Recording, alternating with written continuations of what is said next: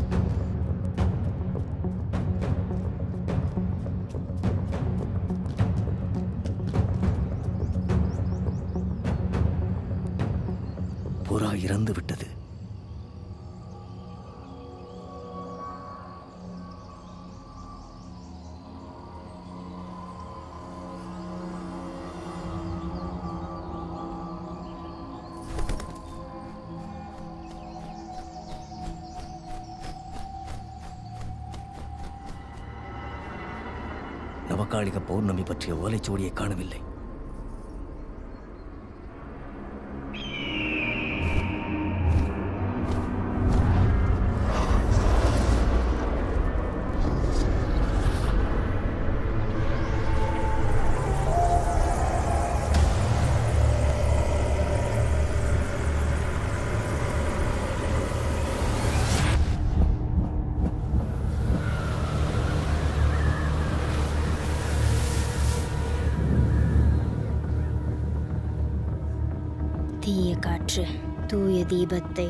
அவ்வளவு எளிதில் அணைத்து விட முடியாது.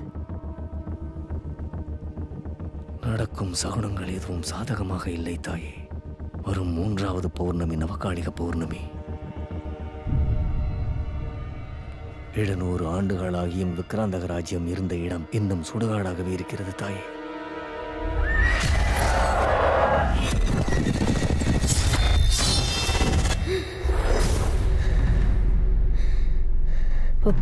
சிந்திய ரத்தம் என் ஏழாவது பிறவியிலும் உறையாமல் தொடர்கிறது. ஏழு நூற்றாண்டுகள் எட்டாயிரத்தி நானூறு பௌர்ணமிகள். எண்ணில் அடங்கா ஏக்கம் பெருமூச்சுக்கள் எல்லாம் வருகின்ற நவகாலிக பௌர்ணமிக்காகத்தான். என் சாப விமோச்சன வழி திறக்கும் காஸ்மோரா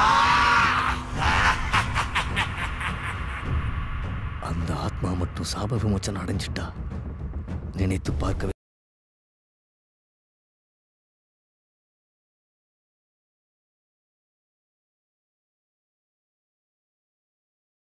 இந்த ஒரு வில்லுக்கும் பொருத்தமான அம்பு தேவை.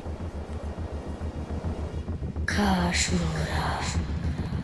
எங்கே இருக்கிறாய் காஸ்மோரா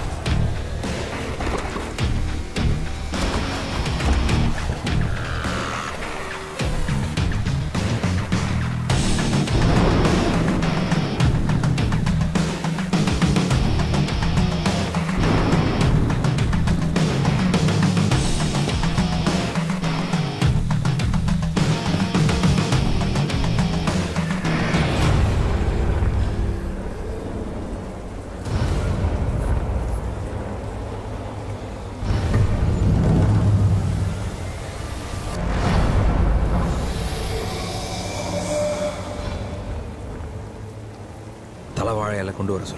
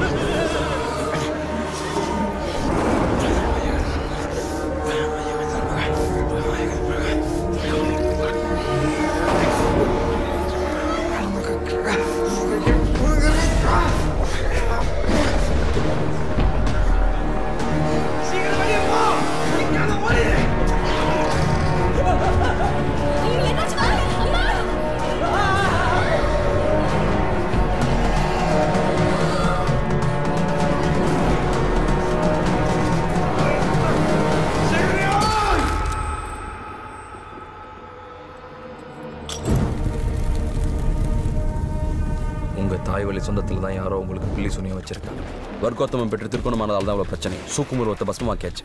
கேந்திரம் பார்த்து சொல்லி பிடிச்ச ஒரு பாவத்தை நாசமாக்கிட்டேன். கடலை கரைச்சாகணும். ஆனால் ஜீவன் இன்னும் இருக்கும். அதை நான் பரல் பார்த்துக்கிறேன்.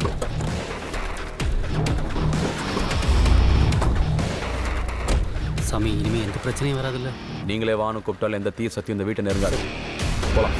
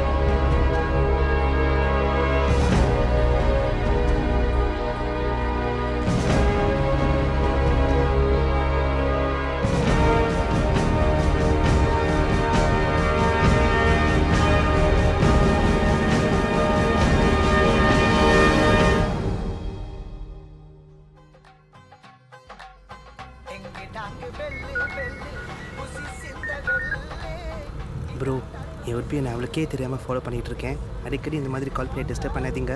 பாய் ஐயோ என்ன எல்லாமே இப்படி வராங்க? அடி பாவி கல்யாண பொண்ணு சுடுகாட்டில் சுற்றிட்டு இருக்கா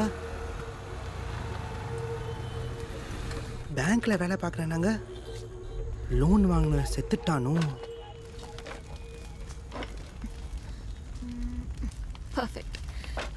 சார். பிராண்டி ஹாஃப் கேட்டிங்க. ரெண்டு குவார்டரா கிடைச்சது. ஐயா. என்னது? வெட்டியானுக்கு சரக்கும் சைடு டிஷ்ஷும் சப்ளை பண்றா? நீ ஆ வாட்டர் பாட்டிலே இருக்கு சார் என்ன கேட்டேன்? வாட்டர் பாயிண்ட் கேட்டேன். அப்படியே வாட்டர் பாயிண்ட் கச்சி நிஸ்ஸுன்னு வச்சா பிஸ்ஸுன்னு அடிக்கும். அப்பதான் மிக்ஸிங் கரெக்டா இருக்கும். காரியத்தை கெடுத்துட்டப்பா அது ஏ துட்டு வாங்கி போய் வாட்டர் பாயிண்ட் வேணுவா சேஞ்ச் சொல்லு. அதான் சொன்னேனே சார் பேய பார்க்கணும். இது முன்னாடி பேய பாத்துக்கிற? எங்க சார்? கீழ்பாக் சுடுகாடுக்கு போனேன். ஆ நம்ம மணி. பெசநகர் எலக்ட்ரிக் சுடுகாடுக்கும் போனேன். ஆ நம்ம சங்கரு. அதுவும் இதோ நாங்க. யாரும் பேய கண்ணிலே காட்டல சார். சுடுகாடு சுடுகாடா பேய்க்கு அலையிற ஆ? சார் ஆக்சுவலா ஆவினா என்ன பேய்னா என்ன? ஆவினா ஆவி பேய்னா பேய். சார். இதாம்மா நல்ல செத்த ஆவி நானும் செத்த பேய். வச்சு ஊத்தினா ஆப்பாயில அப்படியே பறிச்சு போட்டு ஆம்லெட் அவள்தான் ஆமா. பேய பார்த்தா பயப்பட மாட்டியா. ஆ நீ இழுத்துக்காதுல. லெஃப்ட்ல பாரு லெஃப்ட்ல பாரு. லெஃப்ட்ல பக்கத்துல ரைட்ல பாக்குற ஆவி எங்க ரைட்ல இருமே அப்படியே கம்மி கேட்க பாரு சிஸ்டர் வந்து வாட்டி போயிட்டு மறுபடியும் வாட்டர் பாக்கெட்டா டேய் ஃப்ராட் சனினே டேய். போலீஸ் ஸ்டேஷன்ல கம்ப்ளைண்ட் பண்ணிடுவேன். ஹலோ சார் என்னையா பொண்ணு பத்தி வளர்த்து வச்சிருக்க இல்ல- சார் சார் சுத்திட்டு இருக்கா? பொண்ணு எப்படி சார்? சுடுகாட்டுக்கெல்லாம் போகும். அது பேங்க்ல வேலை செய்யலாம் எனக்கு இல்ல தம்பி நான் கேட்க ஒரு மாட்டேன் நிமிஷம் கேளுங்க. பாய். கே- சந்தோஷமா? மாப்பிள்ளை குடும்பமே ஸ்பீக்கர் போன்ல போட்டு திட்டி கல்யாணத்தை வேண்டான்னு சொல்லிட்டாங்க. என் தீசிஸ் முடிகிற வரைக்கும் கல்யாணம் வேண்டாம்னு சொன்னேனா இல்லையா? நீங்களும் கண்டவனை வர வச்சா நான் என்ன பண்ணுவேன்? பேய பார்த்ததுக்கு அப்புறம் தான் மாப்பிள்ளைய பார்ப்பேன். உடனே பேய பார்க்கணும்னா நான் தான் செத்து பேயாகணும். பேய் ஆகுறது அவ்வளோ ஈஸி இல்லப்பா. துர்மரணம் சம்பவிக்கணும்? லாரியில அடிபட்டு பாடி பம்பர்ல மாட்டிக்கிட்டு அப்படியே ஒரு அரை கிலோமீட்டர் இழுப்பட்டு சாகணும். உனக்கு மாப்பிள்ளை பார்க்கறத விட இப்படி இழுபட்டு சாவறது எவ்வளவோ தேவலை.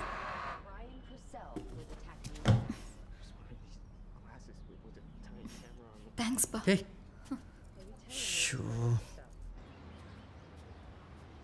அதுக்கு இல்லடா செல்லம். அழகா ஒரு கல்யாணத்தை பண்ணிக்க. மாப்பிள்ளை நீயுமா சேர்ந்து ஆவியோ பேயோ எதை வேணாலும் தேடுங்க. இல்லை ரெண்டு பேருமா சேர்ந்து ஒரு குட்டி சாத்தானா பிள்ளையா பெற்றுக்கங்க சீக்கிரம் தீசஸ் முடிஞ்சிரும்ல. இன்னும் ஆறே மாதம்தான் டைம் அதுக்குள்ளே இதெல்லாம் ஏற கட்டிடு இல்லை கொன்றுவேன். அப்புறம் நீயே பேயாயிடுவ இப்படியே போனா நீ உன் தீசிஸையும் முடிக்க மாட்ட கல்யாணத்தையும் முடிக்க மாட்ட. நான் சொல்றத கேளு.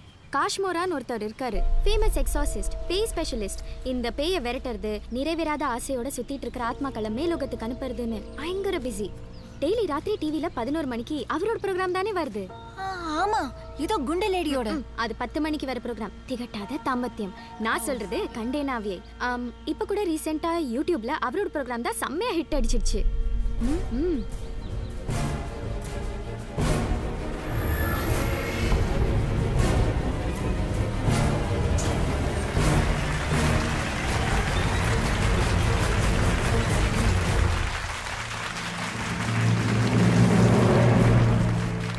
வணக்கம் சார் அது என்ன காஷ்மோரா? வித்தியாசமான பேரா இருக்கே. காஷ்மோராங்கிறது பூத வித்தை. இந்த வித்தை தெரிஞ்சவங்க தான் அகில உலக பூதங்களை அடக்கிற சக்தி வாய்ந்தவங்க. பிறவிலே எனக்கு இந்த சக்தி இருக்குன்னு தெரிஞ்ச எங்கள் அப்பா எனக்கு காஷ்மோரான்னு பேர் வச்சார். ஓகே. அதாவது ஆவி பேய் பூதம் இருக்குன்னு நம்புற கூட்டம் இந்த பக்கம் இருக்காங்க. இது எல்லாமே ஃப்ராடு போய் பித்தலாட்டம் சொல்றவங்க இந்த பக்கம். முதல்ல இவங்கள்ட்டேந்து வரலாம். உங்களில் யாருக்காவது ஆவியோட நேரடியான அனுபவம் ஏற்பட்டிருந்தா சொல்லலாம். சார் கொஞ்ச நாளாக எங்கள் வீட்டு மொட்டை மாடியில் சனிக்கிழமை காலைல ஏழரை மணிக்கு ஒரு காக்கா வந்து கத்திக்கிட்டே இருக்கும் சார். ஃபஸ்ட்டு நான் அதை பெருசாக எடுத்துக்கவே இல்லை. அதுக்கப்புறம் தான் தெரிஞ்சது அது எங்கள் தாத்தா அங்கே உட்காந்து பேப்பர் படிக்கிற இடம்னு. அதிலிருந்து எந்த சனிக்கிழமையும் நான் மிஸ் பண்ணுறதே இல்லை சார். காலையில் நியூஸ் பேப்பரும் கரெக்டாக ஏழரை மணிக்கு கொண்டு போய் விட்டோம் தண்ணியோடு தண்ணியோட வச்சிருவேன் சார். அந்த காக்கா அந்த தண்ணியை குடிச்சிட்டு போயிடும் அப்போ தான் புரிஞ்சுது. எங்கள் தாத்தா எங்களை விட்டு எங்கேயும் போகல சார். அவர் ஒரு ஆன்மாவா என்கிட்ட பேசிட்டு சார் அட அழுவத்தை நிறுத்துமா? சனிக்கிழமையா ஏழ்றையா காக்காக்கு எங்கேயா டைம் பார்க்க தெரியுமா? தம்பி உங்க பேர் என்ன? சேகர். காக்காக்கு மணி பார்க்க தெரியாது. அவங்க தாத்தாக்கு தெரியும்ல?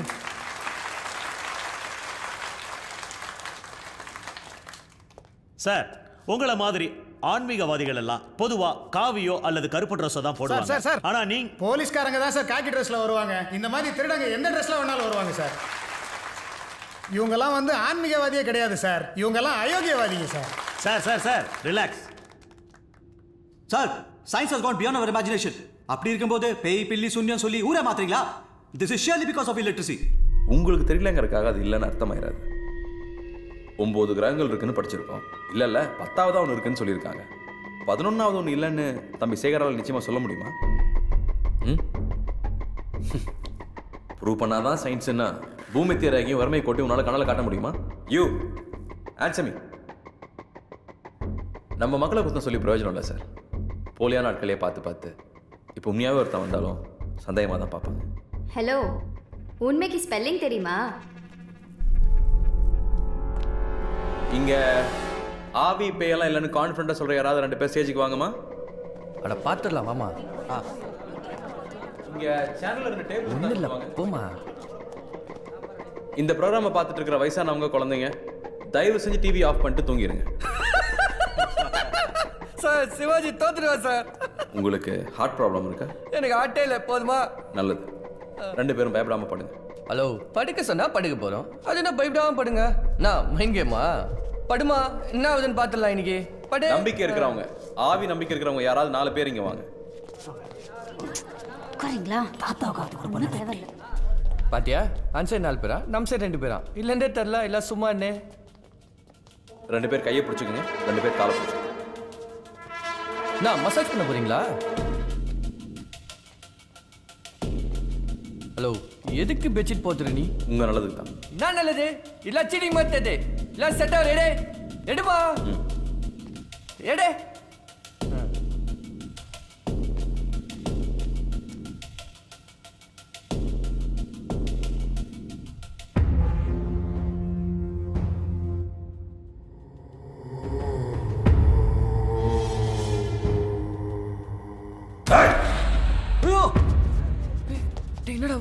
சார் நாங்கள் ரெண்டு பேரும் ஒன்று தான் சார் அவன் நம்புறேன் நானும் நம்புறேன் சார். ஹலோ. ஏய் அவன் ஃப்ரெண்டே ஆமா ஆமா படுமா.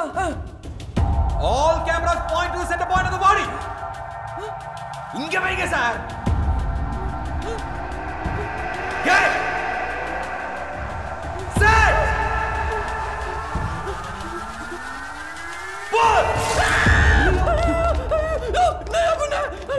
பிச்சுட்டீங்க சார் சார் ஐயோ சாரி தெரியாம சைடு வந்துட்டேன் சார் சேர்த்து விட்டுறீங்க சார் ரிலாக்ஸ் பேசிட்டு இருந்தா சேர்க்க முடியாது. இன்னும் நம்பிக்கை இல்லாதவங்க யாராவது இருந்தா ரெண்டு பேர் வாங்க. சேர்த்துடலாம். நம்பிக்கை இருக்கிறோம் சார் சார் தயவு செஞ்சு அந்த ஆவியை வரைச்சு சேர்த்து அட்லீஸ்ட் கேமராமேன் ப்ளீஸ் சார் யாருமே இல்லை சார் சார் கல்யாணம் அவளை காப்பாத்துங்க சார் பிரிச்சா எனக்கு சேர்க்க தெரியாது.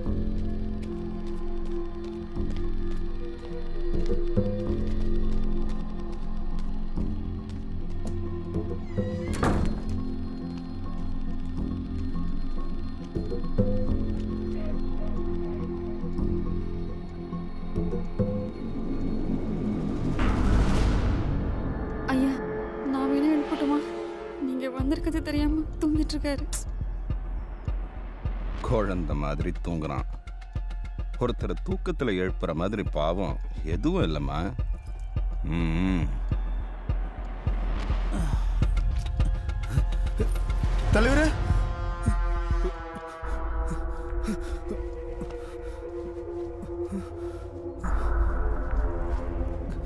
தலைவரே தலைவரே சொல்லியிருந்தா நானே வந்திருப்பேன் தலைவரே.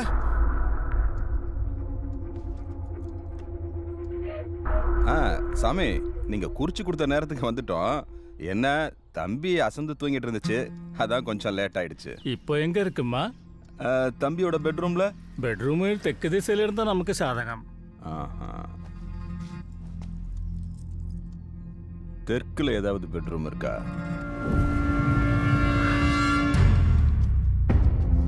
சாமி தம்பிய தெற்கு பக்கம் கொண்டு வந்துட்டோம். அந்த ராஜேஷ் வந்து மூல நட்சத்திரம். அதுலயும் கேது வந்து மூணாம் இடத்துல இருக்கா நம்மள ராகு. பின்ன ஆறாம் இடத்துல இருக்கோம். அதனால இந்த உலோகம் சம்பந்தப்பட்ட ஆயுதம் எந்தெங்கிலும் யூஸ் பண்ணிடாதீங்கம்மா. உலோகம் இல்லாத இப்போ.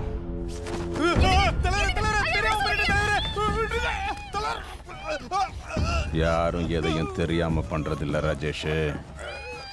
இப்ப நான் தெரியாமலா பண்றேன்.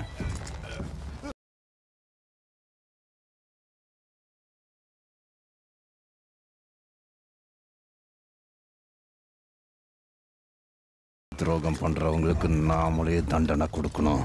அந்த சந்தோஷமே தனி.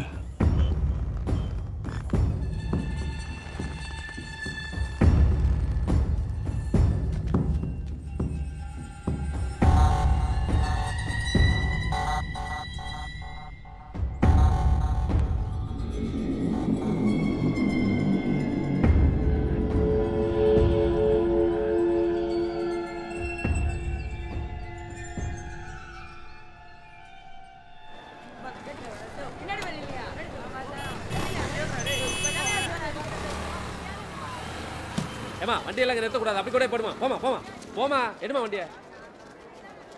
என்ன பாட்டி? நாய்கள் ஜாக்கிரதை மாதிரி பேய்கள் ஜாக்கிரதைன்னு போட் போட்டிருக்கு? யார் யார் வீட்டில் என்னென்ன இருக்கோ அதுக்கு தகுந்த மாதிரி தாம்மா போடு வைப்பாங்க. என்ன பாட்டி கதை விடுறீங்க? கதை இல்லைம்மா சரித்திரம். அந்த காலத்தில் என் புருஷன் தெருவில் இறங்கி நடந்து வந்தாருன்னா பில்லி துணியெல்லாம் பிச்சுக்கும். ஒரு வாட்டி இவர் பேரையே ரெண்டு குட்டி சாத்தானை ஏன் விட்டாங்க. குட்டி சாத்தானுக்கு குட்டி கதை சொல்லி ஜட்டி போட்டு வாசல்லே கட்டி போட்டாரு. அன்னையிலிருந்து அதுங்களும் விசுவாசமாக வீட்டை காவல் காக்குதுங்க. போம்மா போ. அதுங்களை டிஸ்டர்ப் பண்ணாமல் போம்மா. யார பாட்டி? உன்னை ஒன்றும் பண்ணாதுங்க. பயப்படாம போம்மா.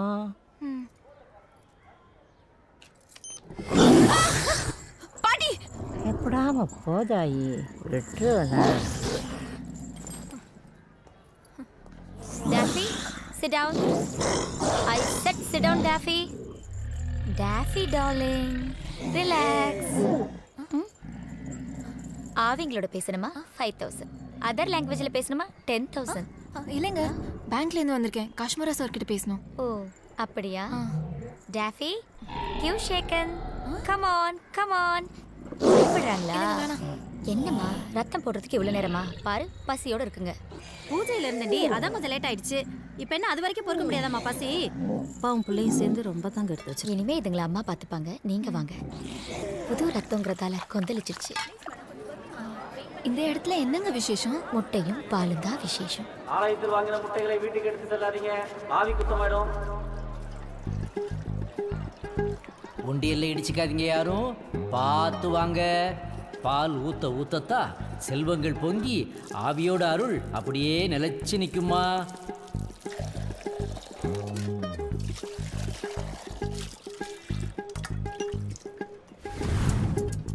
முட்டையை உடைக்க உடைக்க தான் உங்க கஷ்டங்கள்லாம் தூள் தூளா உடைஞ்சு ஐஸ்வர்யம் பொங்குமா?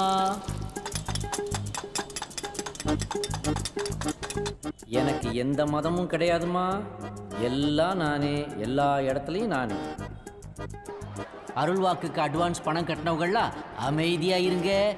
ஆவிகளுடைய உத்தரவு வந்த உடனே நானே கூப்பிடுவேன். உண்டியில தொட்டு கும்பிட்டா மட்டும் பத்தாதுமா? பார்த்து வாமா உன் கண்ணுக்கு வேணா வெறும் உண்டியலா தெரியலாம். ஆனா என் கண்ணுக்கு அது ஏழைங்களோட வாய்மா. பார்த்துடுமா. நீ போடுற ஒவ்வொரு காசும் சோறா மாறி ஏழைங்க வயிற்றுக்கு போகுதுமா. ஒரு ரெண்டு குழந்தைங்க பசியவாவது தனிய வைமா. பத்து குழந்தைங்கன்னு சொல்லியிருக்கலாமோ நல்லா இருமா. அடுத்து வாங்க. எக்ஸ்கியூஸ் மீ ப்ளீஸ் அவசரப்படக்கூடாதுமா. வரிசையில் வரணும்ல. வெள்ளைக்காரங்க நிற்கிறாங்கல்ல பேங்க்லேருந்து வந்து பேங்க்லையா? வாமா நீ முன்னாடி வாமா நீ போயிடுமா. பணம் கொண்டு வந்திருக்கியாமா இல்லைங்க ஐயா இப்பதான் காஷ்மீரா சார் அக்கௌண்ட் ஓபன் பண்ணிருக்காரு. அக்கௌண்ட்ல பணம் இருக்கலாமா இல்லைங்க ஐயா passbook ATM card cheque book எல்லாமே கொண்டு வந்திருக்கேன். அப்ப செக் புக்கை வச்சுக்கிட்டு பணம் தரலாம்ல? இல்லைங்க ஐயா எல்லாமே காஷ்மீரா சார் கிட்ட கொடுக்கணும். என்னம்மா எதுக்குமே இப்படி கொடுக்காம பேசுறியம்மா? உன்னை நம்பி வெளிநாட்டுக்காரங்களை வேற அனுப்பிச்சுட்டேன் எங்க அதை காணமே? சார் என் தீசஸ் விஷயமா? ஜீசஸா நீ கிறிஸ்டியனாமா அந்த மேரி அம்மா அருள் உனக்கு என்னைக்கும் இருக்கும். ஜீசஸ் இல்ல சார் தீசஸ் தீசஸ் தான் ஆராய்ச்சி. இந்த ஆவி ஆத்மா பிசாசு பத்தி எல்லாம் நான் ஆராய்ச்சி பண்ணிட்டு இருக்கேன் சார் ஆனா நான் இது சம்பந்தமா சந்திக்கிற எல்லாரும் பக்கா ஃப்ராடா இருக்கானுங்க சார் சாமியும் ஆவியும் பேரை வச்சு பிசினஸ் பண்ற அயோக்கியங்களா இருக்காங்க. இவங்களெல்லாம் சிறப்பால் சாரி சார் நீங்க எதுவும் தப்பா நினைச்சுக்காதீங்க. நான் பார்த்தவனுங்க எல்லாரும் அப்படிதான் இருந்தானுங்க. பேசாம தீசிஸை ட்ராப் பண்ணிடலாம்னு டிசைட் பண்ணப்போ தான் காஷ்மீரா சாரோட ஷோவை பார்த்தேன். சேர்ந்து அவர் கூட தான் சேரணும்னு டிசைட் பண்ணிட்டேன்.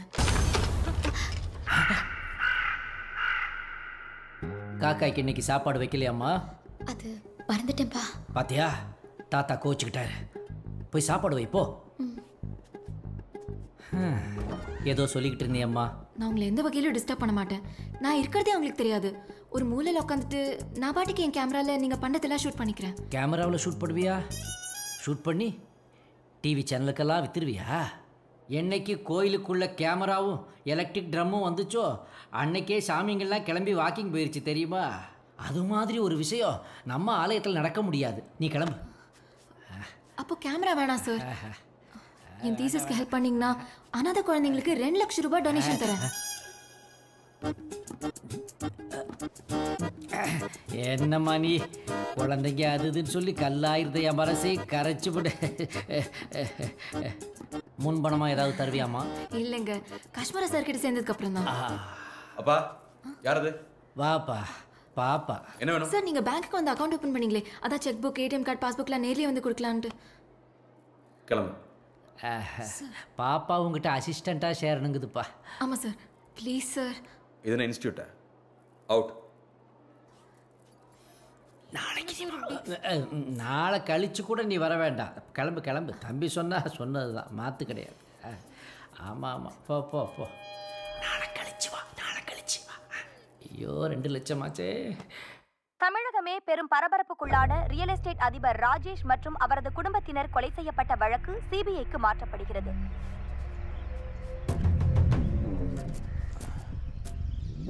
அந்த ராஜேஷ் கேஸ் சிபிஐக்கு போயிடுச்சு அதனால என்னம்மா இந்த திருமேனி இருக்கிற வரைக்கும் இந்த தினக்கோடிக்கு ஒன்றும் வராது இந்த எஃபிஐ சிபிஐ எல்லாம் உங்க அரசியல் பயணத்துல ஒரு சிறிய ஸ்பீட் பிரேக்கர் மாதிரி ராகு மூணாம் இடத்துல இருந்து சந்திரனை பார்க்கறதால ചെറിയ கிரகணம் மாதிரி சின்ன சின்ன தடங்கள் உங்களுக்கு வரத்தான் செய்யும் പിന്നെ நெருப்பில் எரிஞ்சு போனாலும் சாம்பல்ல இருந்து வெளியில வர ஃபினிக்ஸ் பறவை மாதிரி நீங்க. தைரியமா போங்க. வரசாமி சிக்மண்ட் ஃப்ராய்டோட அறிவையும் சித்தர்களோட அனுபவத்தையும் கலந்து என் அண்ணன் காஷ்மோரா ஒரு கோட்பாடு கண்டுபிடிச்சு காஷ்மோரா கிட்ட பேசி பார்த்தேன் முடியாதுங்கிறான். சார் அக்கௌண்ட் நம்பர் சொல்லிட்டீங்கன்னா நான் கேஷ் டெபாசிட் பண்ணிடுவேன். ஏழைங்களோட ஆசீர்வாதம் என்னைக்கு உனக்கு இருக்குமா? நாளைக்கு நாலு மணிக்கு வா உன் ஆராய்ச்சியை பற்றி அவங்ககிட்ட நான் பேசி வைக்கிறேன். சரிங்க அம்மா அமலா? அப்பா. ஏதோ நம்பர் சொன்னீங்கன்னா அது ரூபா போட்டுருமா? அது என்னன்னு கொஞ்சம் பார்த்துக்கம்மா. Five zero one double zero double zero five nine six five seven two one IFSC double zero two four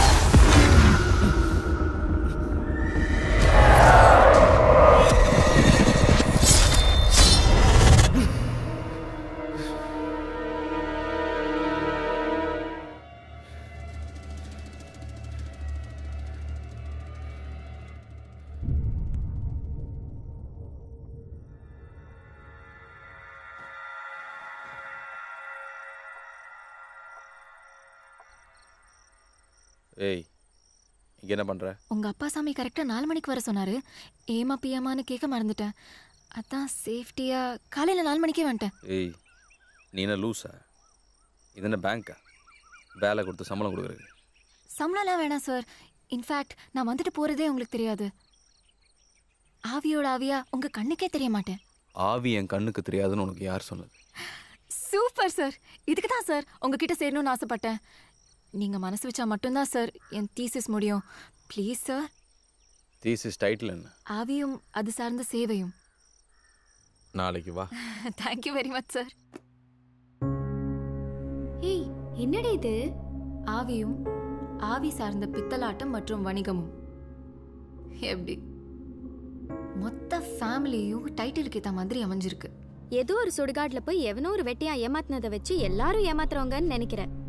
அது தப்பு. ஏதாவது ஒரு சக்தி இல்லாமையா எல்லாரும் அவர் பின்னாடி போறாங்க? அதெல்லாம் மாஸ் ஹிப்னாட்டிசம் மென்டல் கண்டிஷனிங் பல மாச ட்ரைனிங் டி. அமெரிக்கால டேவிட் காப்பர்ஃபீல்ட் ஸ்டாச்சு ஆஃப் லிபர்ட்டியை மறைய வச்சாரே. அது என்ன நிஜமா? இந்த பேய் ஆவின்றதெல்லாம் சும்மாவா? சுத்த பொய்யா?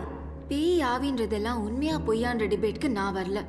ஆனா இதெல்லாம் வச்சு பேயை ஓட்டுறேன் பேயோட பேசுறேன்னு சொல்றவனெல்லாம் பொய்யன்னு ப்ரூவ் பண்றதா என் தீசஸ் இது பெரிய பிசினஸ் ஐடியான்னு நான் சொல்ல போறேன். அப்போ காஷ்மீரா ஃப்ராடா இல்லையான்னு கண்டுபிடிக்க போறியா? கண்டுபிடிக்கிறதுலாம் எதுக்கு? அவன் கன்ஃபார்மா ஃப்ராட் தான். அதை நான் எவிடன்ஸோட சொல்ல போறேன். தட்ஸ் இட் பாய் பேய் ஓட்டிட்டு இருந்த இடம் இப்போ இப்படி ஆயிடுச்சு. என்ன பார்க்குறீங்க? உண்மைதானே? சந்தனக்கூடு திருவிழா மாதிரி ஏ ஏன்னு இருந்த இடம். இப்போ மையத்து வீடு மாதிரி ஆயிடுச்சு. எங்கேருந்து வந்தான் அந்த காஷ்மோரா ரம்ஜானுக்கும் பக்ரீத்துக்கும் நம்மக்கிட்ட பிரியாணி வாங்கி தின்னு வந்தாங்க அவன். இப்போ நம்மளையே தொழில் செய்ய விடாமல் துரத்துறான். ஏதாவது செய்யுங்க பாய். இப்படியே போனால் நம்ம ரெண்டு பேரும் கடை கடையாக புகை போட வேண்டியதான் பாய் காஷ்மரா சாமி வீட்டுக்கு எப்படி போனோம்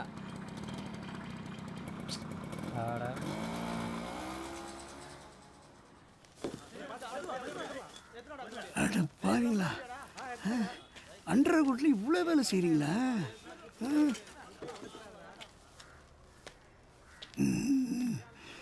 அவங்கள உண்டு பாய் நல்லா இருக்கீங்களா பாய்? அவன் பையனை.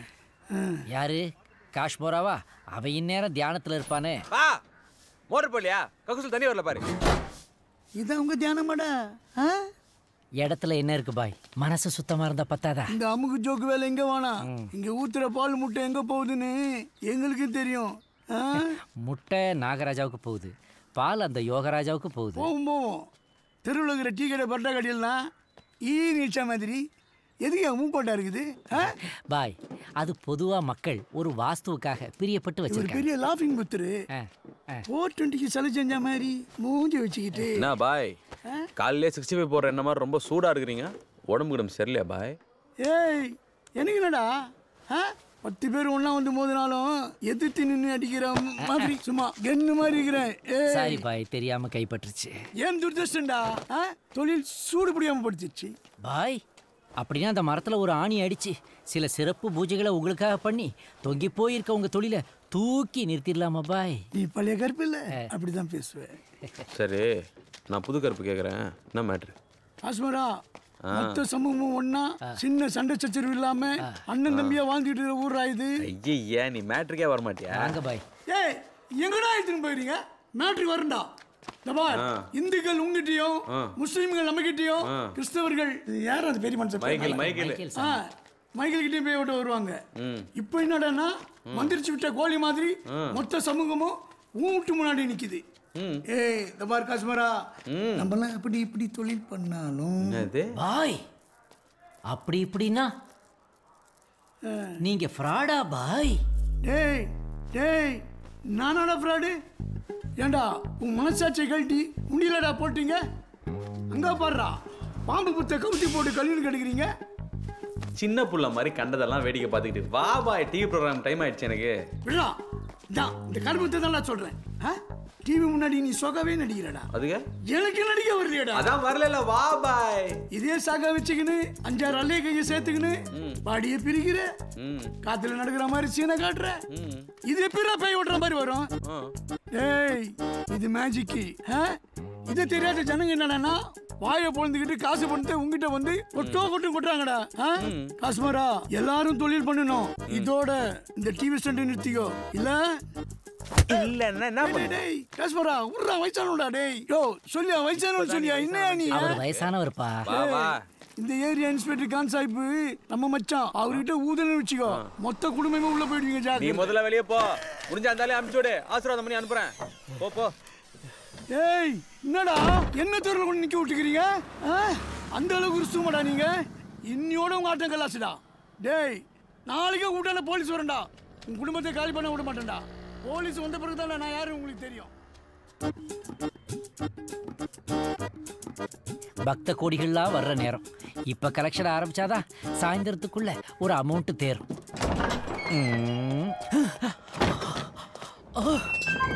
டேய் டேய் காஷ்மோரா பாய் போட்டு கொடுத்துட்டான்டா. டேய் இப்போவே போலீஸ்லாம் வர ஆரம்பிச்சிச்சுடா நீ எல்லாத்தையும் பதுக்கி வைடா. மெயினா அந்த பாம்பு புத்த மறைச்சு வைடா. காஸ்மோரா ஐயா இந்த வீட்டுக்கு எனக்கு எந்த சம்மந்தமும் கிடையாதுயா. நான் புடவை விற்க வந்தவையா இது சாமுத்திரிக்கா பட்டியா? திரிஷா போட்டு வருவாங்களே பார்த்தது இல்லையா ஐயா? அப்பா எங்கப்பா போறீங்க? அது ஒரு விளையாட்டு கழுதை. யாரை பார்த்தாலும் அப்பா அப்பான்னு உறவு கொண்டாடும். நீங்க போங்க ஐயா.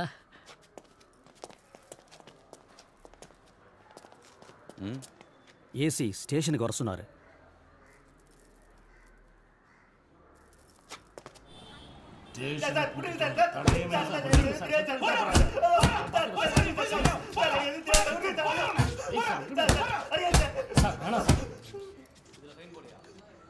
தப்புன்னு அடிக்க தான்டா செய்வாங்க ரெஸ்ட் நீங்கள் தான் ம் ம்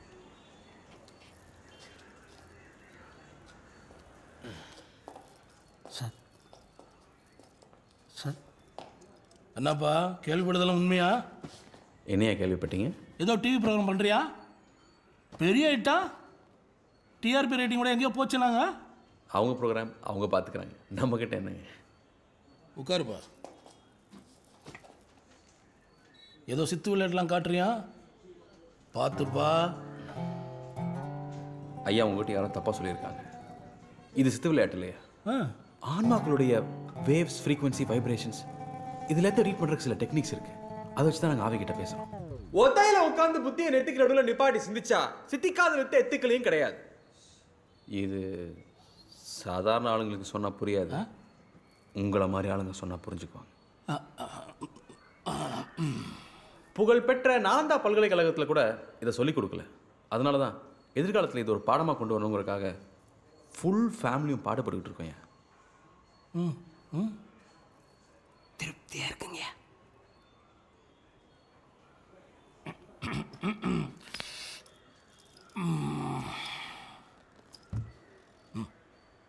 ஹலோ அது ஒன்றும் இல்லை ஸ்டேஷன் வெளியே நிறுத்தி வச்சிருந்த இன்னும் காணோம். கொஞ்சம் பார்த்து சொல்ல ப்ளீஸ் நம்ப வந்தீங்களா? டிபார்ட்மெண்ட் வண்டி. வெளியே தனியா அசிங்கம். லோக்கல் காத்துலன்னெல்லாம் கொண்டு வந்து தட்டிட்டேன். ஒன்றும் யூஸ் இல்லை. பாரு.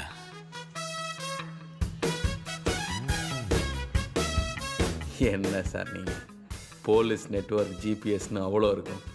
உங்கள் வண்டியை உங்களாலே கண்டுபிடிக்க முடியலன்னு சொல்கிறீங்க நம்ப முடியலையே. அட போப்பா. மலேசியன் ஃப்ளைட்டு மாதக்கணக்காக தேடினானுங்க. இது வெறும் காரு. ரெண்டு நாளில் சிஎம் மீட்டிங் இருக்கு. வெளியே தெரிஞ்ச மானம் போயிடும். கொஞ்சம் பாரு. ஐயோ இங்கே பார்க்க முடியாதியா? என்ன வசதினாலும் கேளு செஞ்சு தரேன். நமக்குன்னே வசதி தேவைப்பட போகுது. பிரத்யேகரா தேவி கிட்ட அருள் வாங்கி பிரத்யேகமான நேரத்தில் ஆவிங்களை கூப்பிட்டு பேசணும். அது கண்ட இடத்துல பண்ண முடியாதியா? அதுவும் போலீஸ் ஸ்டேஷன் என்ன மாதிரி இடம்னு உங்களுக்கே தெரியும். ஆன்மா கண்டிப்பாக வராது. பின்ன? நம்ம வீட்டுக்கு வந்துருங்க. இன்னைக்கு பரல் பார்த்து நாளைக்கு காலையிலே முடிச்சிடலாம். வரும்போது ரெண்டு லிட்டர் பாலும் ஆறு முட்டையும் வாங்கிட்டு வந்துருங்க. வரட்டுங்களா? தம்பி முட்டை மட்டும் போதுமா இல்லை வெங்காயம் மிளகா அது இது நாம என்ன பொடி மாஸ் போட்டு சரக்கு அடிக்க போகிறோம் சாமி கிட்ட போய் இந்த சாரி ஆவிங்கிட்ட பேச போகிறோம் சரி. முட்டையும் பாலும் கோயிலில் புத்துல ஊத்துறக்கு ஆ. அப்புறம் தம்பி விஷயம் வெளியே தெரியணும்ண்ணா என் காதில் சொன்ன ரகசியம் எங்கள் புத்துல ஊத்துற பால் மாதிரி. வெளியே போக சான்ஸே இல்லை. சார் முட்டையை உடைச்சு ஊத்தணும்னு அவசியம் இல்லை. அப்படியே கூட போடலாம். பாம்பு பசிக்கும் போது சாப்பிட்டுக்கும். போட்டுங்கய்யா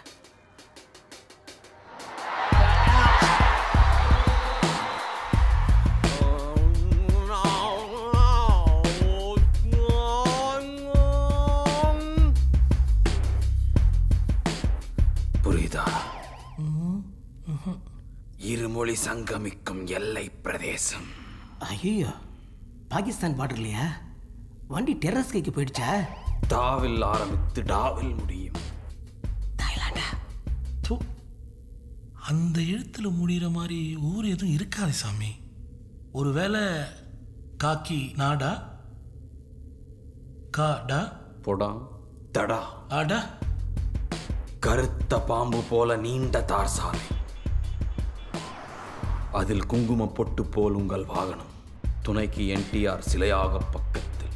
யோ போய் செக் பண்ணிட்டு வாயா. சரிங்க சார்.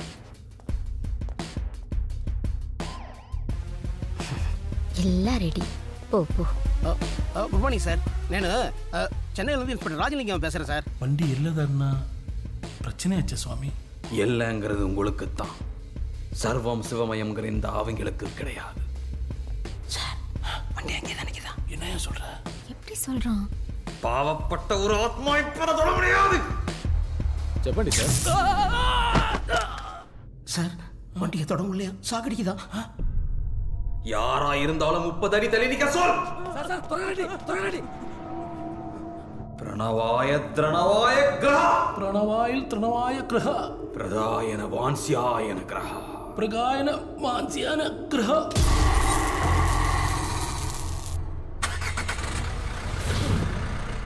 சார் கார் ஸ்டார்ட் ஆயிடுச்சா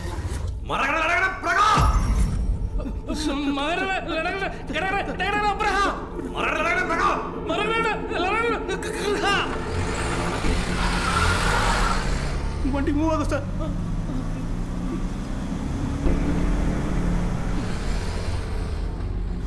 வண்டி மூவ் ஆகுது மூவ் ஆகுது வண்டி மூவ் ஆகுது தெரியுதுடா தஜாய கணச பிரகா தஜாய கணச பிரகா சார் வண்டி ஸ்டேஷனுக்கு வந்துருச்சா சார் தஜாய கணச பிரகா பிரகா பிரகா பிரகா பிரகா பிரகா சுவாமி நீங்க ஆவிங்களை பத்தி சொல்லும்போது நான் என்னமோ நினைச்சேன். ஆனா நீங்க ஆவிங்களை வச்சு அ- அங்க இருந்து வந்துட்டேன் தொலைஞ்ச இடத்துல எனக்கு அப்படி புல்லரிங்க சாமி. ஐயா தயவு செஞ்சு உணர்ச்சி வசப்படாதீங்க. நீங்க கிழக்க பார்த்து நின்னீங்கன்னா கிழக்கு இங்க ஐயோ சாமி நீங்க நிக்கிறது தான் கிழக்கு. ஆசீர்வாதம் பண்ணு சாமி. ஐயோ ஐயா சாமி. ஐயா இல்லைங்கய்யா உங்களை மாதிரி காவல் தெய்வம் என்ன மாதிரி நடமாடுற தெய்வத்தோட காலில் விழுறத நான் அனுமதிக்கிறதே இல்லையா சுவாமி கோவில்ல அண்ணாந்து கும்பிடணும். ஆனா உங்களை மாதிரி சாமி காலில் வந்து தான் கும்பிடணும் ப்ளீஸ் சுவாமி. இரு இரு. என்ன மாமா நீ? இவங்கள பத்தி என்னென்னமோ சொல்லிட்டு இருந்த? இங்க என்னடனா ஏசியா காலில் விழுந்துட்டு இருக்காரு? சுவாமி அப்படியே அந்த வண்டி யார் திருநாங்கன்னு சொன்னீங்கன்னா? அவங்கள ஆவிங்க பார்த்துக்குவாங்க. அதை பற்றிலாம் நீங்கள் நினைக்கவே கூடாது. அவர் விழுகும்போது நான் விழுகல நல்லா இருக்காது.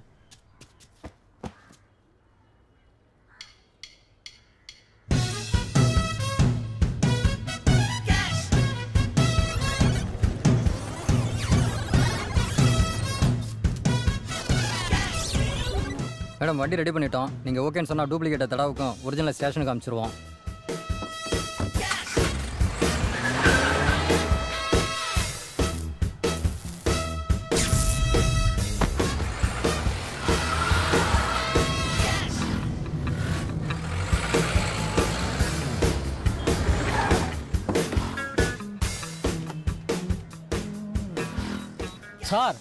நம்ம இனோவா நம்ம ஸ்டேஷன் வாசல்ல தான் சார் நிற்குது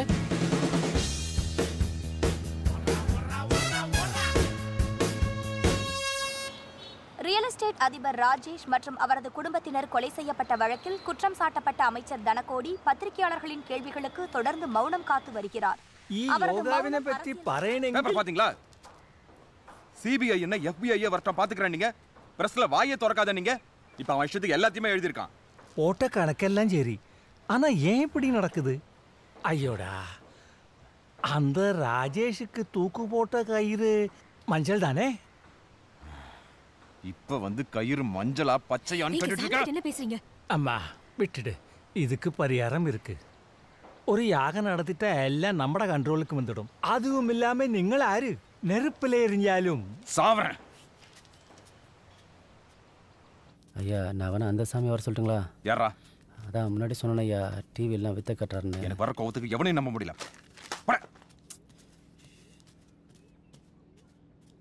யாரியா? அந்த காஷ்மீரான டிவிலாம் நம்ம காஷ்மீர் சாமி தானே? ஆமாமா.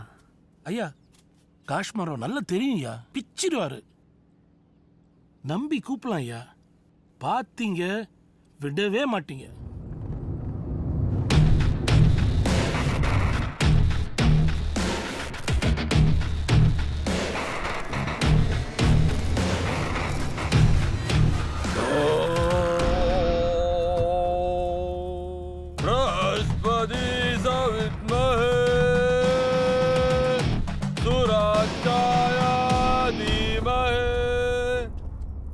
தன்னோ குரு.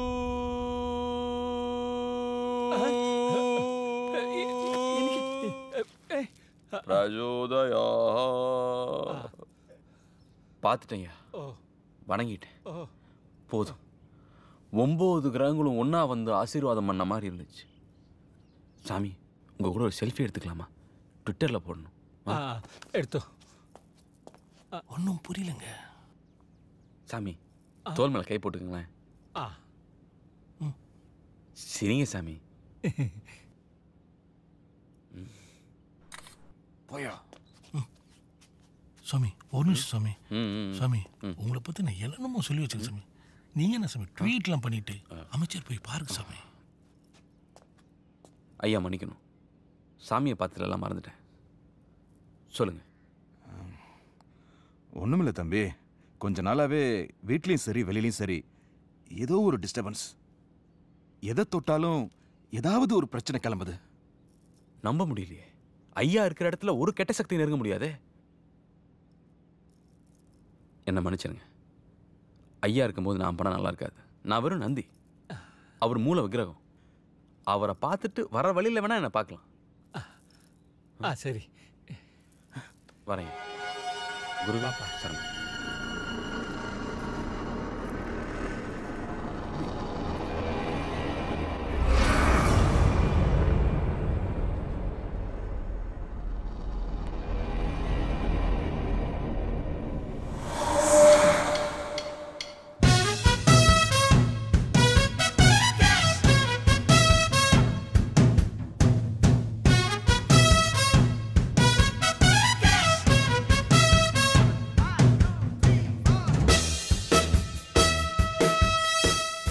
இருக்கியா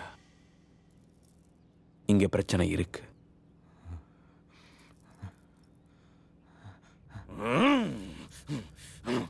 இன்னைக்கு புராட நட்சத்திரம் உத்திராடம் இன்னைக்கு ம். புதன்கிழமை சொல்லிட்டா நல்லா பண்ணி தரணும் இன்னும் ரெண்டு நாள் எடுத்துடலாம் ரெண்டு ദിവസം കഴിഞ്ഞ് எடுக்க போறான்னா இந்த ரெண்டு திவசத்தில் ஏதோ വെക്ക போகிறான்னு தான் அர்த்தம். ஒரு பயலும் தூங்கவே கூடாது. நம்மளை மீறி அவன் எப்படி வைக்கிறான்னு நான் பார்க்குறேன்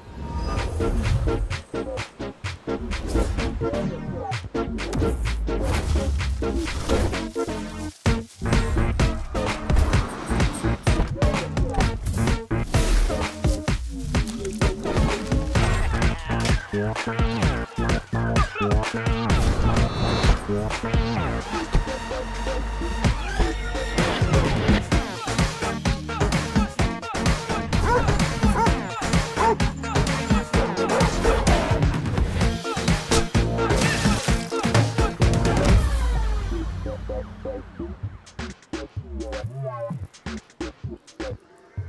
எடுத்துடுவானா? வச்சாதானையா எடுக்க முடியும்?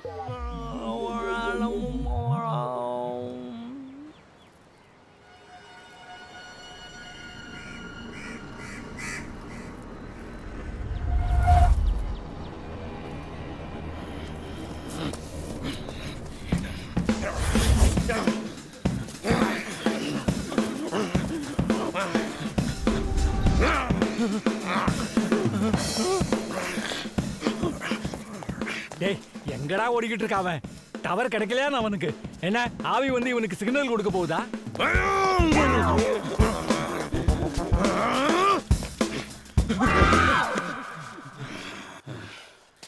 सुलेमान सेठ कैसे आप क्या खबर है हाँ कौन किधर हाँ हाँ शूल शूल क्या शूल என்னடா இவன் பண்ணிக்கிட்டு இருக்கு சாமி ஏதோ இந்தி ஆவிகிட்ட பேசுறான் ஓ சூல் சூலம். ம். சூலம் வரதுக்குள்ள அடப்பட்டிருக்கா. தப்பாச்சே. தப்பா. வாகன காடி. காடி. பென்ஸுக்கார சொல்றான் சாமி. ஆ காடி. வாகனம். அவன் என்ன கார் வேணா சொல்லட்டும். ஆனா நம்மளை மீறி எப்படிடா?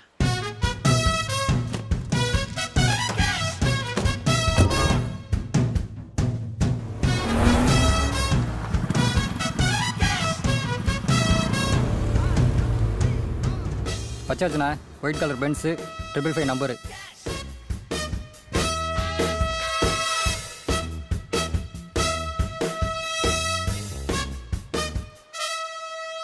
என்னடா மூணு பென்ஸும் வெள்ளையா இருக்கு?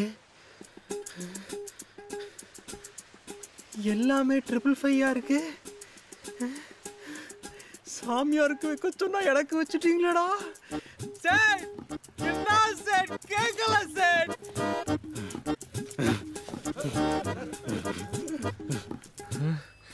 டிஎன் டுவெண்ட்டி திருவள்ளூர் இருக்காது டிஎன் லெவன் தாம்பரம் இதுதான்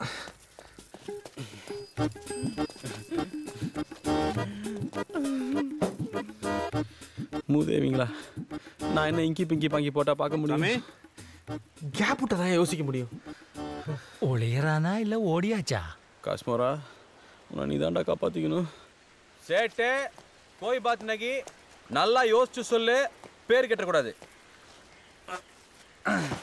கான்ஃபிடண்டா ஏ நீ யாரா சொல்லுதுங்க நீ தான் சொல்லுவியா சொல்லு சொல்லு கேக்குறேன்ல சொல்லு கேட்குறேன் கேட்குறேன் சொல்லு சொல்லு கேட்டுக்கிட்டு இருக்கேன்ல அவர் பவர் என்னன்னு தெரியும் உன் மேல கான்ஃபிடன்ட் இருக்கு யோ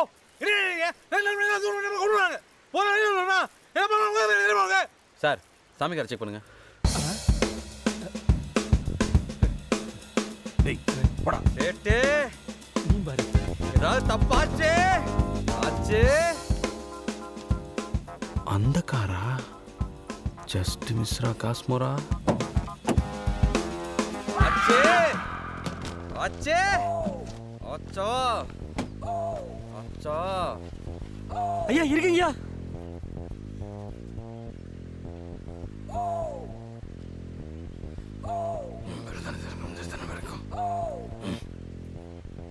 சூக்கும் உருவத்தை பஸ்பமாக்கணும்.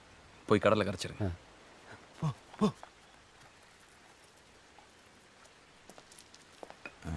தம்பி ஏன் சாமி கார்ல? ஆணி வேர் அழிச்சிட்டா மரம் இருக்க முடியுமா? இந்த வீட்டுக்கு சாமி ஆணி வேர் மாதிரி. அதான் அவர் வண்டியில் வச்சிருக்காங்க. சாமிக்கு தெரியாம அவர் வண்டியிலேயே? உச்சி வெயில நம்ம நிலையில நம்ம கண்ணுக்கு தெரியறதில்ல. ஓய்வெடுக்க வேண்டிய வயசுல சாமி நடக்கிறதே பெரிய விஷயம். அதுக்கு மேலெல்லாம் சாமி அவன் வந்து வைக்கல. வச்சுட்டு தான் வந்திருக்கான். ஹலோ. ஐயா தீர்ப்பு வந்துருச்சுங்கய்யா. ராஜேஷ் கொலை வழக்குல இருந்து கோர்ட் உங்களை விடுவிச்சிருச்சு.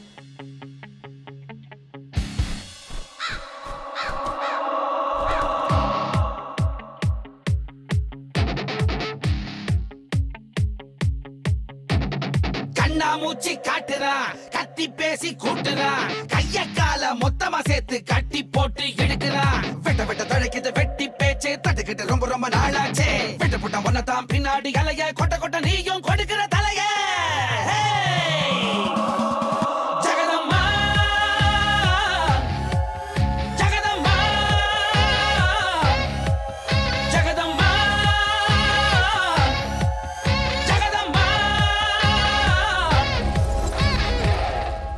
காஷ்மீர சாமி கின்னஸ் ரெக்கார்ட் பண்ணுற மேடையில் சாமி கூட நின்று ஒரு ஃபோட்டோ எடுத்துக்கிறேன் ஐயா. அப்புறம் அந்த ஆயிரம் ஆவிங்க கிளம்புறதுக்கு முன்னாடி நம்ம கிளம்பலாம் ஐயா. உடனே கிளம்ப வேணாம். அவங்களெல்லாம் அனுப்புனதும் கிளம்புவோம். சரிங்க. அப்பதான் நல்ல கவரேஜ் கிடைக்கும். காஷ்மீர சாமி வளர்ச்சிக்கு நாம தான் காரணம்னு நியூஸ் வரணும்.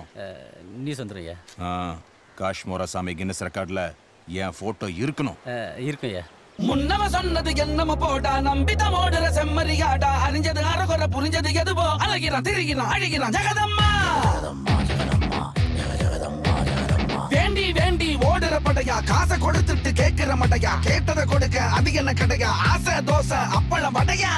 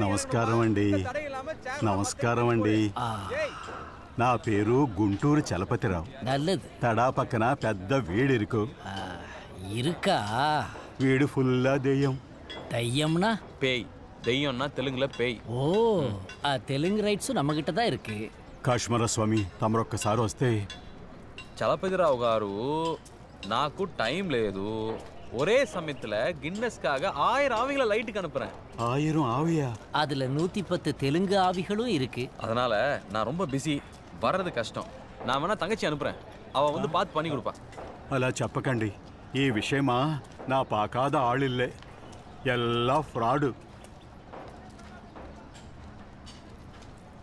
ఎవరి వల్ల పని జరగటం లేదండి తమరొక్కసారి దయచేస్తే డబ్బు ఎంతైనా పర్వాలేదండి నేను ఇస్తాను வேண்டாம்னா விட மாட்டீங்க அந்த வீட்டையே எழுதி வாங்கிடுவானே அட்ரஸ் கொடுத்துட்டு போங்க நானே வரேன் நல்லா செய்யலாம் அந்த வீட்டுக்கு என்னையும் கூட்டு போங்களேன் முடியாது ஆ சொல்லுங்க தலைவரே ஏனையா உன்னால ஒரே தலைவலியா போச்சு இப்போதான் ரியல் எஸ்டேட் ராஜேஷ் கேஸ்லேருந்து வெளியில் கொண்டு வந்தேன் இப்போ மறுபடியும் இது வேறயா ஆமா உனக்கும் எதிர்க்கட்சி சுரேஷ்குமாருக்கு என்னையா தொடர்பு? அது ஒன்றும் இல்லைங்களையா அப்போ ஏன் உங்க ரெண்டு பேர் வீட்டுக்கும் நாளைக்கு ரைடு வராங்க? ரைடுங்களா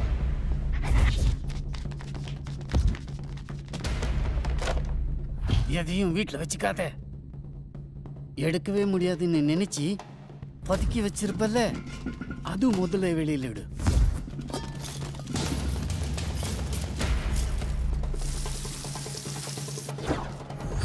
கூட்டணி கட்சி கூட அக்ரிமெண்ட் போட்டுமே. ஆ டாக்குமெண்ட் எல்லாம் பத்திரமா இருக்கா? இருக்கு தலைவரே.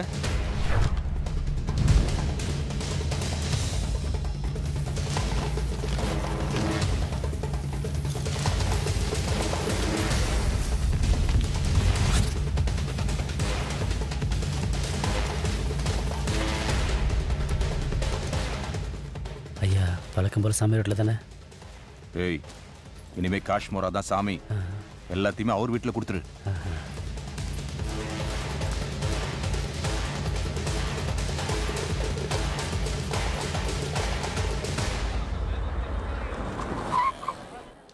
சுவாமி அமைச்சர் ஆளுங்களை அமைச்சிருக்காரு சுவாமி. அப்படியா? ஆமாம் சாமி வர சொல்லு. வாங்க என்ன விஷயம்? சாமி நாளைக்கு அமைச்சர் முக்கியமான லேண்டை முடிக்க போறாரு. விவசாய நிலமா? அதுக்கு சில சிறப்பு பூஜைகள்லாம் பண்ண வேண்டியது இருக்கே. அதுக்கு தான் சாமி இந்த ரியல் எஸ்டேட் டாக்குமெண்ட்லாம் பேக்கில் வச்சு ஐயா கொடுத்துட்ருக்காரு அதை ஒரு நாள் எங்கேயே வச்சு புத்துக்கோயில் ஒரு பூஜை பண்ணீங்கன்னா ஐயா வந்து நாளைக்கு வாங்கிப்பார் சாமி. அந்த டாக்குமெண்ட்ஸ் பேக் எல்லாம் எடுத்துக்கிட்டு அந்த பக்கமாக வந்துருங்க. சாமி. சாமி அங்கே வந்து சரிங்க சாமி. போங்க. வாங்க உள்ள வாங்க. உள்ள வச்சிருங்க. இதை இப்படி வைங்களேன். தம்பி இந்த பூஜையெல்லாம் முடிச்சுட்டு இது எல்லாத்தையும் எடுத்து லாக்கரில் வச்சிடுறேன். சரி உங்களுக்கு டூப்ளிகேட் சாவி எதுவும் வேணுமா? வேணாம் சாமி. ஐயா வச்சுட்டு தான் வர சொன்னார். நல்லது. வர சாமி.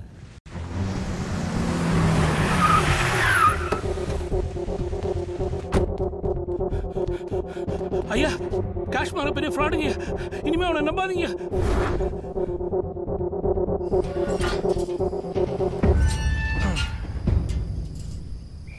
செலவுகிறா பெத்த இல்லைன்னா இது என்ன பேலஸ் மாதிரி இருக்குது? ஒரு திருட்டு கேஸில் சிசிடிவி பார்க்கும்போது கிடைச்சது இருபதாம் தேதி இந்த வீட்டில் செய்வனை எடுத்திருக்காங்க. ஆனால் பதினேழாம் தேதி இவனுங்களே செய்வனை வச்சிருக்காங்கய்யா இந்த ஆவின் கூட பேசினதெல்லாம் பொய்யா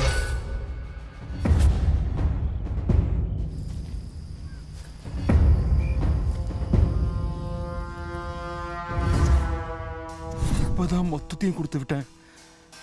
டைமண்ட் நகை பணம் கூட்டணி கட்சியோட அக்ரிமெண்ட் டாக்குமெண்ட்னு மொத்தம் ஐநூறு கோடியா? ஐயோ அவங்ககிட்ட போய். யோ நேத்து வரைக்கும் தெய்வீக சக்தி உள்ளவன் அதிசய பிறவின்னு சொல்லிட்டு இப்ப வந்து ஃப்ராடுன்னா என்னையா பண்ணுவேன் ஏய் அந்த பேக் எல்லாம் கொடுக்க வேணாம். கொண்டு வந்துருங்க. கொடுத்துடையா என்னாச்சுங்கய்யா? இமிடியேட்டா போய் ஏதாவது சொல்லி திரும்ப வாங்கிட்டு வந்துருங்க. மொத்தத்தையுமா? ஆமாண்டா.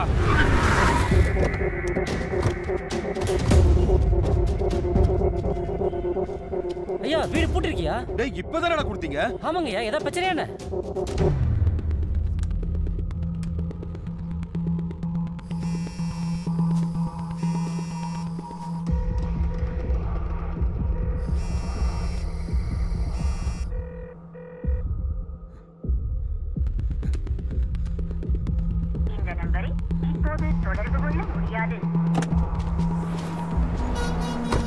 தம்பி தம்பி டேங்கை ஃபில்அப் பண்ணுப்பா. நல்லா இருப்ப. அந்த ஃபோனை கொடுப்பா.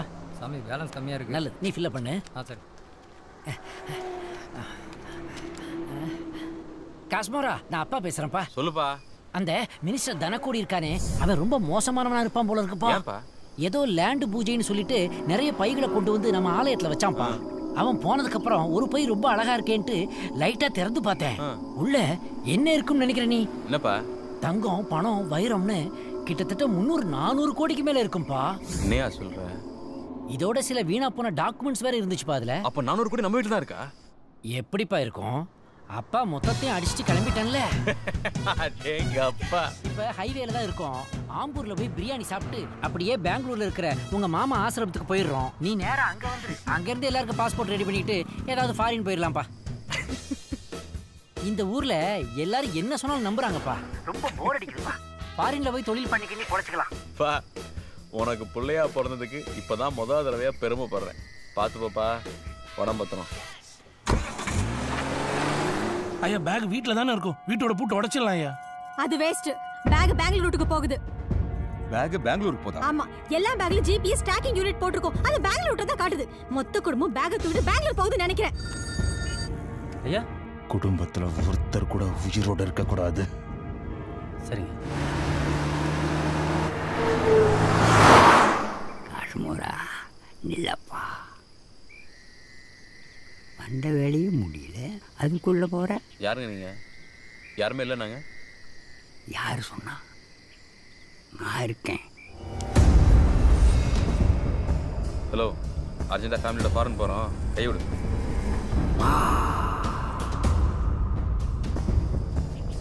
ஓ. ஓ. ஓ. ஏய் ஏய் ஏய் யோ கைவிட யோ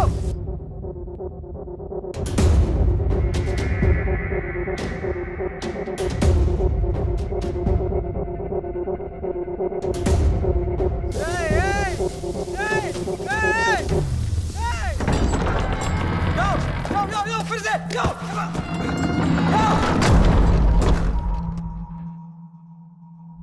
யோ கதவை தர எங்க பெரிய நேரம் முடியல போல இருக்கு. யாராவது ஹெல்ப் பண்ணுங்க. ஹலோ அங்கிள் டோரை திறக்கணும் ஆவி உங்க மேல விட்டுருவேன் டேய் லூசு! இவ்வளவு பெரிய எதை வரைக்கும் சாத்தி வச்சுக்க முட்டாள்!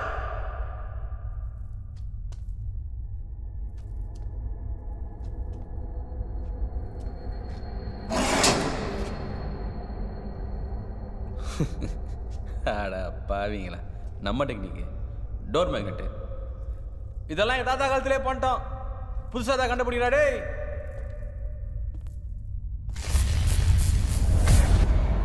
ஓகே. மெயின் போர்டில் ஆள் இருக்கிறான். அவன் வேலைக்கு ஆக மாட்டான். அவன்லாம் ஒரு நாள் என்கிட்ட வேலை செய்ய மாட்டான். மெயின் போர்டில் கை வச்சா சும்மா டக அடிக்கணும் அப்போ தான் அடிக்கணும். கவனத்தை சித்த அடிக்க முடியும். இவன் நம்ம பிளகா பையன் மாதிரி பிளிக் பிளிக் பிளிக்ன்றான். அப்புறம் இப்படியா பயம் வரும்? மா நம்ம தொழிலம்மா டைமிங் அண்ட் டீட்டெயில் தான் ரொம்ப முக்கியம். லேட் பாசிங் லேட்டு பாசிங் எப்படி கொடுக்கணும்னு தெரியுமா ஆக்சுவலா பவர் கட்ல நான் அப்படியே லெஃப்ட் திரும்பும் போது அப்படியே ரைட் அவ்வளோ வேகமாவோட போயிட்டேன் மா ஒர்க் நல்லா இருக்குதுமா? இவன் ஓனரே தூக்கி சாப்பிடுவான் நீ என்ன பாரு ரஜா நீ அப்புறமா அண்ணன் வந்து பாருண்ணே. ஆ? கண்ணா சரி இதெல்லாம் எதுக்குமா ஏன்ட்ட காட்டுறீங்க? பார்ட்டிக்காரர்ல காட்டணும். நானும் இந்த மாதிரி தொழில்காரம்மா. நானே பேடவா போகிறேன்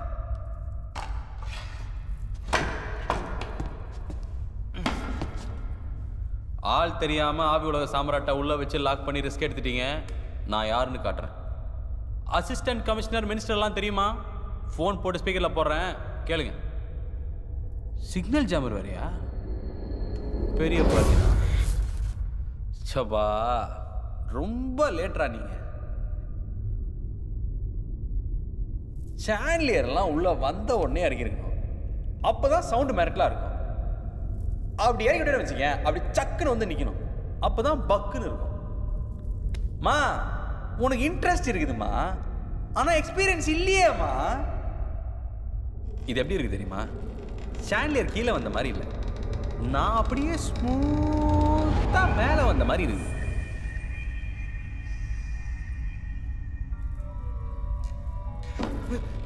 டேய்! நீ ஆளை மேல டேய்! எனக்கு வட்டியா ப்ராப்ளம் தெரியுமா? ரோப் வேற இல்ல! இத பாருமா! சப்போர்ட் இல்லாம நிக்கிறேன். இதெல்லாம் ரொம்ப டேஞ்சர் எங்க? ஏத்துற மாதிரி அப்படியே ஸ்மூத்தா கீழே இறக்கிடுங்க. டீடைல் பண்றேன்னு விட்டுறாதீங்கடா. என்ன சொல்லிட்டே இருக்கிறேன் நம்ம பண்ற விஷயத்த உயிர் போய் உயிர் வரணும். அப்படியே போயிடக்கூடாது. அப்போ ஆட் பேசிட்டுறா எனக்கு வரலாம் இல்ல ப்ளீஸ் சார்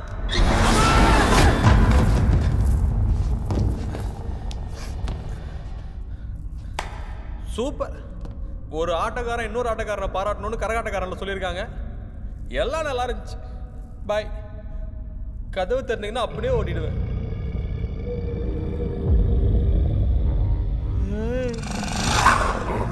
என்னடா நாயெல்லாம்?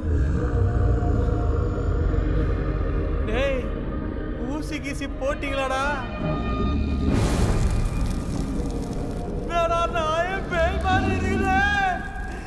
நான் பேசுறது புரியாடா हिंदी मत जाना मैं हिंदी मालूम मैं उसका कुत्ता कुत्ता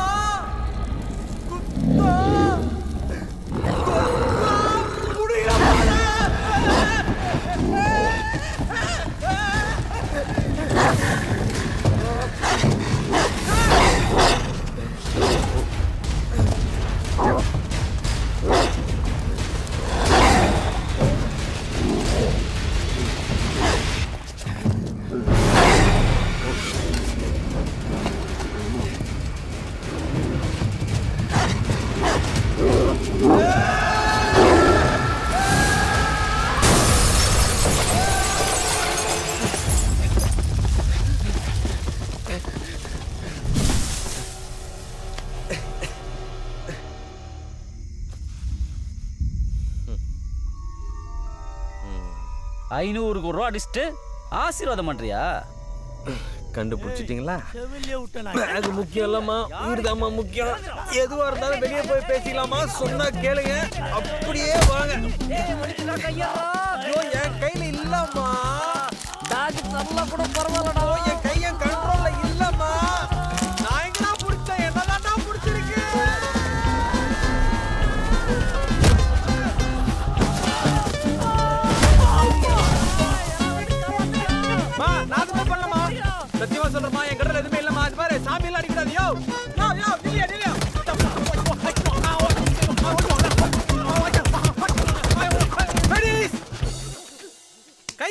கண்ட்ரோல்ல இல்லம்மா. இல்லம்மா. நான் கேளுங்கம்மா. கண்ட்ரோல் பண்ணுங்கம்மா.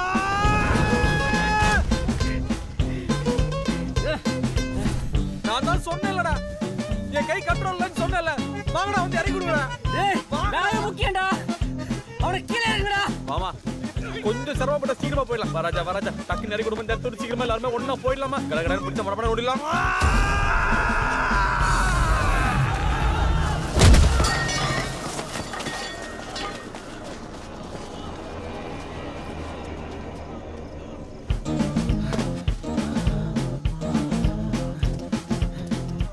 வேடிக்கை பாக்குறீங்க வாங்கயா போலாம். வா வா வா. டேய் ஸ்ட்ராங்கா போறா புறா நான் அடிச்சு நகரேன் அவனை. நான்.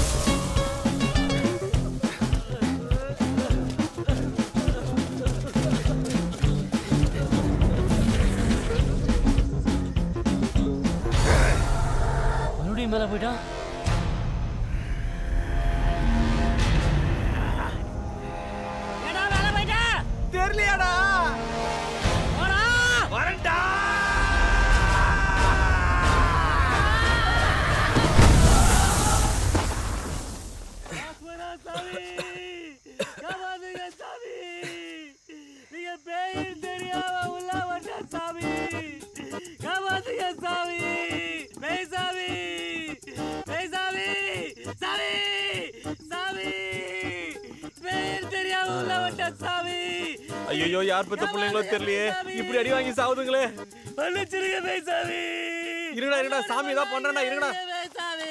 எங்களை கைவிட்டுறாதீங்க ஆண்டவரே. சாமி காப்பாத்துங்க பேய் சாமி. ஏய் உங்க டைம் நல்லா இருக்குதுடா. செம்ம மேட்ட மாட்டிச்சுடா புடிடா புடிடா புடிடா ஏய் எல்லாரும் ஒத்துமையா கெட்டியா பிடிச்சிங்கடா மினிஸ்டர் நான் தான் காப்பாத்துன்னு சொல்லுங்க என்ன? தூக்கி விடுங்க பேய்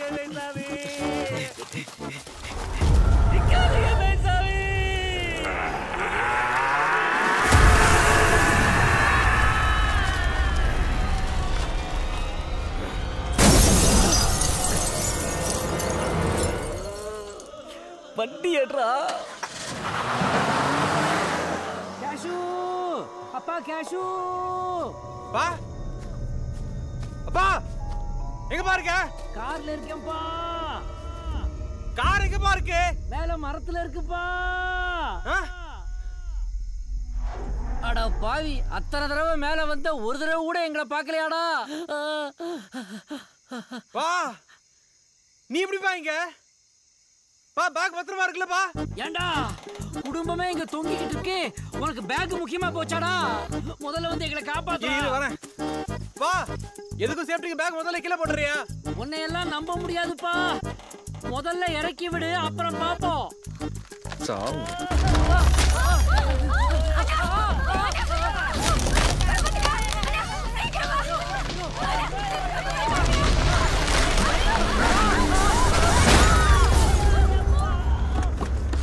எப்பா எப்பா காசு?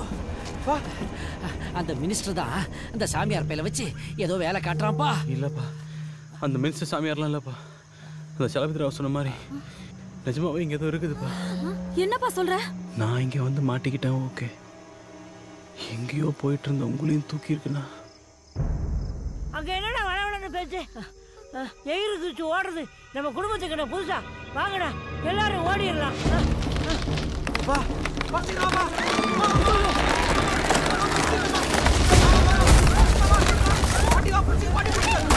Apa? Apa? Apa? Apa?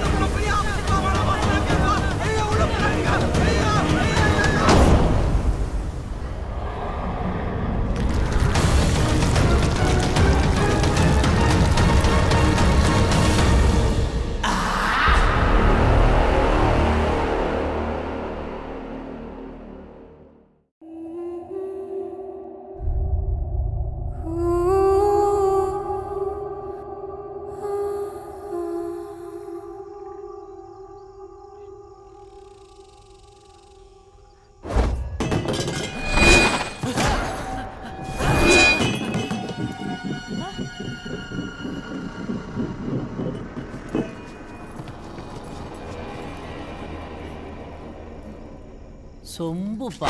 அம்மா ஜி.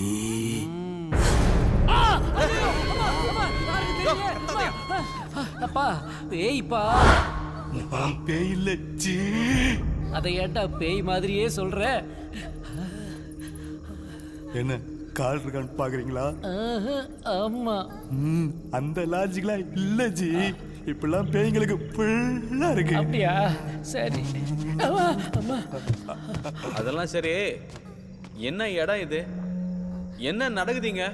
கிட்டத்தட்ட எழுநூறு எட்நூறு வருஷம் பழைய அரண்மனை ஆஞ்சி ஏதோ ரத்னமாதேவிங்கிற இளவரசிக்காக கட்டதான் திடீர்னு ஒரு நாள் தீ பிடிச்சி பாதி அரண்மனை எரிஞ்சு போச்சு அஞ்சு. என்னாச்சு இவ்வளோ க்ளோஸாக ஃபாலோ பண்ணுறீங்க பயமா இருக்கா? கொஞ்சம். மேலே சொல்லியா? அப்புறம் இந்த இடம் ஆள்றதுக்கு ஆள் இல்லாமல் ரொம்ப வருஷம் கழிச்சு பிரிட்டிஷ்காரங்க கையில் கிடச்சிருக்கு. அவங்க தான் ஆபீசர்களுக்காக லைப்ரரி மாதிரி செட் பண்ணி மெயின்டைன் பண்ணிட்டு இருந்திருக்கானுங்க. அப்ப திடீர்னு ஒரு நாள் ஒரு ஆபீசர் புக்கு படிச்சுட்டு இருந்திருக்காரு. புக்கில் இருந்த நாய் உயிரோட வெளியே வந்து குறவளைய கடிச்சு கண்ணு வெளியே வந்து கதற கதற செத்துருக்காப்ல அதுக்கப்புறம் கண்டினியூஸா டெத்து அதனால ரொம்ப நாளா பூட்டியே கிடந்திருக்கு. அதுல இருந்து எல்லாரும் இதை பேய் வீடு பேய் வீடுன்னு சொல்ல ஆரம்பிச்சிட்டானுங்க. நேஜி தனியா விட்டீங்க? க்ளோஸா ஃபாலோ பண்ணுங்க. வாங்க ஜி. அதுக்கப்புறம் ரொம்ப வருஷம் கழிச்சு இந்த அரண்மனைய நம்ம குண்டூர் ஜலபதிராவு அரசியல் எல்லாம் கைக்குள்ள போட்டு ஒரு சகஜ வெள்ள வாயிருக்காப்புல. வாங்கினவர் ஐயருங்கெல்லாம் கூப்பிட்டுக்கிட்டு ஒரு பூஜை பண்ணாலும் உள்ள வந்திருக்காரு. இவர் கூட்டு வந்த ஐயரே. ஏய்யா பாசு விடுற சொல்லியா? தலை முழுசா பின்னாடி திருப்பி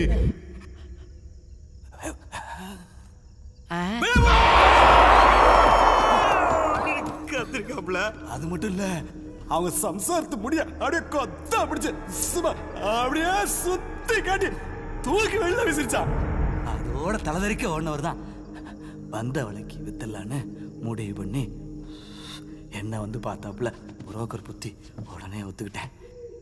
கேட்பூடாதீங்க வாங்கச்சி சலபதி ராவ் உன்னை வந்து பார்த்தானாப்பா? ஆமாங்க.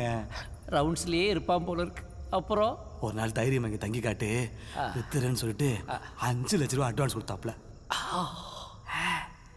இதே மாதிரி கேவலமா ஒரு ரியாக்ஷன் கொடுத்தான் உள்ள வந்து மாட்டிக்கிட்டேன். வரும்போது மூணு கதவு திறந்துருந்துச்சு. ஃப்ரீயா வந்துட்டேன். ரிட்டர்ன் போலான்னு பார்த்தா எல்லா கதவும் மூடிருக்கு ஜி. உங்ககிட்ட சொல்றதுக்கு என்ன? அதானே? ஒண்ணுக்கு போய் ஒன்றரை நாள் ஆச்சு ஏன் ஃபுல் லாக் ஜாம் ஆயிருச்சு ஜி. அதான் நீ வந்துட்டீங்கல்ல? பேய் விட்டுற குரூப் தானே? நீங்க ஏன் ஜாம் ஆயிட்டீங்க? வரட்டுங்க. வேகமா வரட்டுங்க. பொண்டாட்டிங்களை பார்க்கணும் ஜி. ஆனா ஒண்ணு ரொம்ப கேர்ஃபுல்லா இருக்கணும். எழுநூறு எட்நூறு வருஷம் பேய்ங்க. கேர்ஃபுல் யோ பேய்ங்க பேய்ங்கன்ற. இங்க எத்தனை பேயா இருக்குது? பதிமூணு பேய்ங்க. என்னங்கடா கதை விடுறீங்க? ஜனங்க அவனை சாமின்னாங்க. ஏசி அவனை ஃப்ராடுன்னா. இப்போ நீங்க பேய்ன்றீங்க ஐநூறு கோடி ரூபாடா. பேய்கிட்ட இருந்து எப்படிடா வாங்குறது?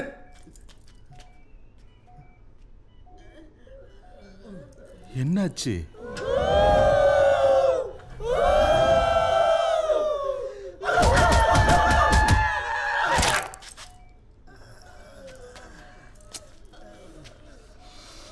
இதை என்கிட்ட விட்டுடுங்க. பசங்க எதையோ பார்த்து பயந்துருக்கு அத்தனை அதுல கட்சி டாக்குமெண்ட் வேற இருக்கு. ரெண்டு நாள்ல தலைவர்கிட்ட டென்ஷன் ஆகண்டா. அதர்வன வேதத்தை கரைச்சி அப்படியே குடிச்சிருக்கேன் நான். நான் பார்த்துக்கிறேன் அடுத்து உங்களை பார்த்தா நான் பணத்தோட தான் பார்க்கும். உழைச்சி சம்பாதிச்ச காசு எங்கேயும் போகாது. அப்போ மொத்தமும் போயிடும். தைரியமா போங்க.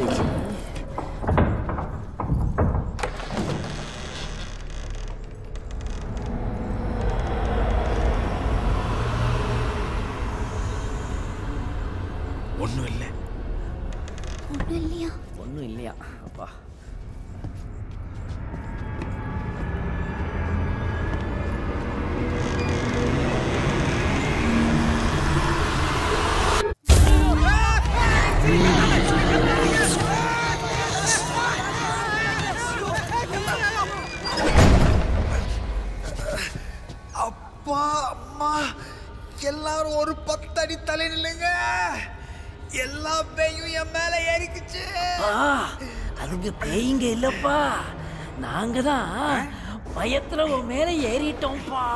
அடைச்சி சனியல இறங்க. ஒரு மனுஷன் எவ்வளவு வெயிட்டா தாங்குறது அம்மா. பயப்படாதீங்க. பயந்தா பயமா இருக்கும். பயப்படலன்னா பயமா இருக்காது. என்னப்பா ஏதோ பேசுறியப்பா. இப்போதான் ரொம்ப பயமா இருக்குப்பா. லைட்ட போடு. சீக்கிரம் லைட்ட போடு. லைட்ட போடு. லைட்ட போடு.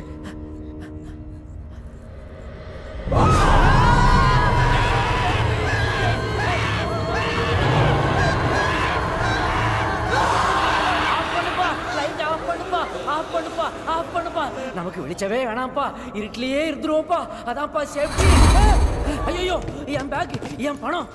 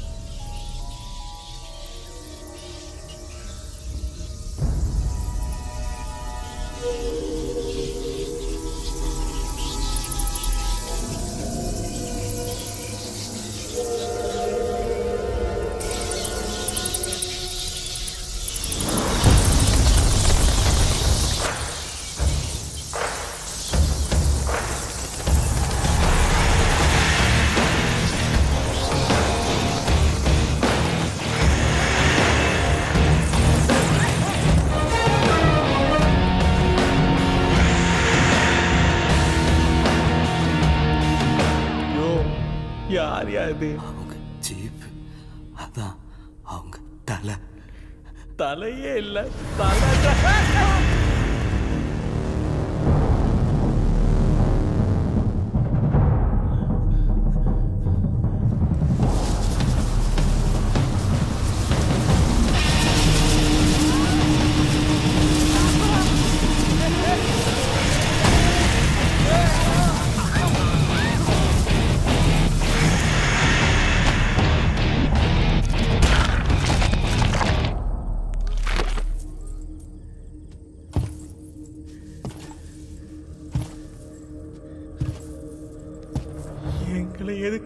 கூட்டிட்டு வந்தீங்க.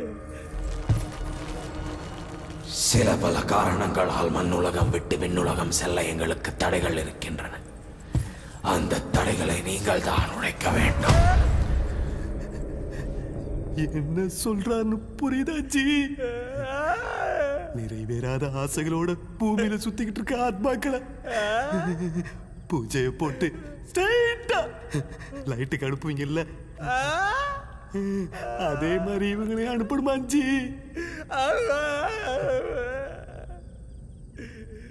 நாங்க லைட்டுக்கு அனுப்புவோம்னு யாருங்க உங்ககிட்ட சொன்னா? நீங்க தாங்க சொல்லிருக்கீங்க இந்த தொழிலில் நாங்கள் ஏன் கொடி கட்டி பறக்கிறோன்னா ஒன்றும் இல்லை ரெண்டு இல்லை. எங்கள் குடும்பத்தில் இருக்கிற அஞ்சு பேருமே ரோஹி நட்சத்திரத்தை பிறந்தவங்க. இதுக்கு முன்னாடி பார்த்தீங்கன்னா கிளாடியேட்டர் சாரி அலெக்சாண்டர் குடும்பத்தில் அப்படி இருந்திருக்காங்க. அதுக்கு முன்னாடி இளங்கோவடிகள் தம்பி குடும்பத்தில் அப்படி இருந்திருக்காங்க. அதுக்கப்புறம் உலகத்திலேயே நம்ம குடும்பம் தான்னா மிகையாக இருக்காதுன்னு நினைக்கிறேன். இப்போ கூட பார்த்தீங்கன்னா ஒரே இடத்துல ஆயிரம் ஆவிகளை வர வச்சு அவங்களை சாந்தப்படுத்தி லைட்டுக்கு அனுப்புகிற ஒரு கிண்ண சாதனையை நாங்கள் பண்ண போகிறோம் அதை பற்றி பேப்பர்லாம் கூட நீங்கள் விளம்பரங்கள்லாம் பார்த்துருப்பீங்க. போஸ்டர்லாம் கூட ஒட்டியிருக்காங்க. மவுண்டோட பக்கம் நிறையா இருக்குது உள்ள வந்தஞ்சி எல்லாம் ஒன்றா சேர்ந்து பேப்பரையே ஒத்து பார்த்துச்சுங்க. அதுக்கப்புறம் மெல்ல என்ன பார்த்துச்சுங்க? உடனே ஆல் டோர் க்ளோஸ் சீக்கிரம் லைட்டுக்கு அனுப்புங்க ஜி. வீட்டுக்கு போகலாம்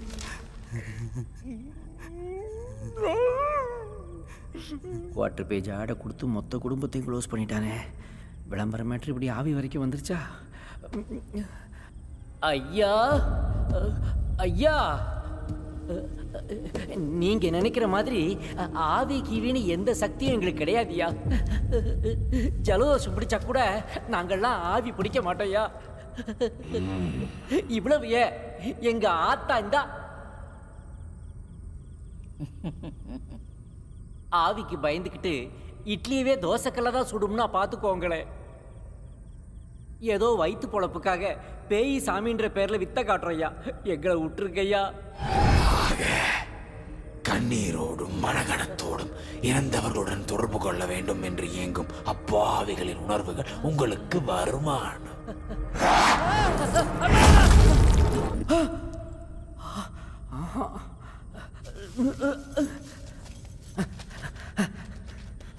எப்பா உண்மையை சொன்னால் உயிருக்கே ஆபத்தாயிரும் போல இருக்கு. நம்ம கஸ்டமர்கிட்ட பேசுகிற மாதிரியே பேசியிருப்பா. இப்போ என்ன? பாஸுக்கு லைட்டுக்கு போகிறதுக்கு பிரச்சனை. அதை நாங்கள் உடையணும். அவ்வளோதான் ஜி. வச்சலாமே அஞ்சு நிமிஷம் வேலை. அப்பளம் போல் தூள் தூளாக வச்சலாம் நான் பண்ணித்தரேன் ம்? பா நீ ஓடிக்கிறியா நான் ஓடிட்டுமாப்பா சின்ன வேலை தானப்பா. நீயே பார்த்துக்க. உடைக்கிறேன். நான் உடைக்கிறேன் ஜி. பாஸ் ஒரு செம ஐடியா நான் என்ன பண்ணுறேன் நேராக வீட்டுக்கு போய் சில்லுன்னு தொலைச்சிட்டனில் குளிச்சுட்டு ஈர துண்டோட வெறும் வயிற்றுல பிரத்யேகமான நேரத்தில் பிரத்யேக தேவை முன்னாடி நின்று சதுர்முக சர்வேஸ்வர சகசரநாம மந்திரம் ஆயிரத்தெட்டு ஆயிரத்தெட்டு தடவை சொன்னேன்னு வச்சுங்களேன் நீ இந்த உலகத்துலேருந்து எந்த உலகத்துக்கு வேணால் போகலாமே யாருக்கும் மறுபிறவி எல்லாம் வேணாம் இல்லை? நீங்கள் சீக்கிரமாக திறந்து விட்டீங்கன்னா நான் சீக்கிரமாக போயிட்டு சீக்கிரமாக வந்துடுறேன். அம்மா அப்பா அவங்களாம் கதை திறக்க போகிறாங்க சீக்கிரமாக வாங்க. அப்பா பேகு சொல்வதை நீ செய்வாய் என்று நான் எப்படி நம்புவது? தாய்ப்பாலுக்கு பதில் மெய்ப்பால் ஊட்டியவள் என் தாய். நம்புங்க பாஸ். நம்பிக்கை மீது எனக்கு நம்பிக்கை இல்லை. நடப்பது எதுவாக இருந்தாலும் நான்கு சுவற்றுக்குள் மூன்றாம் நாள் வரும் நவகாலிக பௌர்ணமி என்று நடந்தாக வேண்டும். எங்கள் தடையை உடைக்க உங்களுக்கு எந்த தடையும் வராமல் நான் பார்த்துக் கொள்கிறேன். எங்களுக்கு சொர்க்க வாசல் திறக்கும் பொழுது உங்களுக்கு இந்த வாசல் திறக்கும்.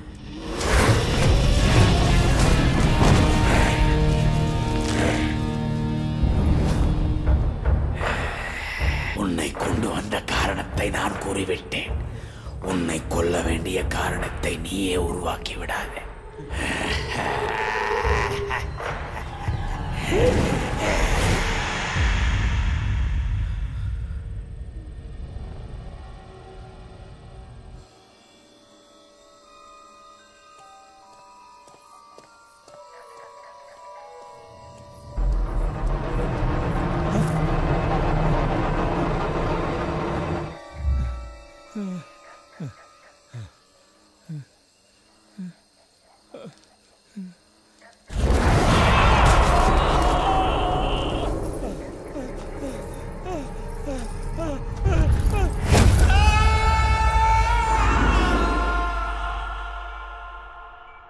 அடுத்தவங்களை பார்த்தா நான் பணத்தோட தான் பார்க்கும்.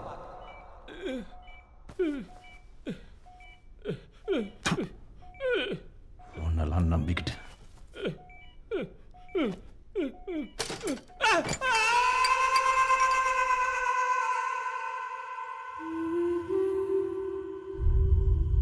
இங்கு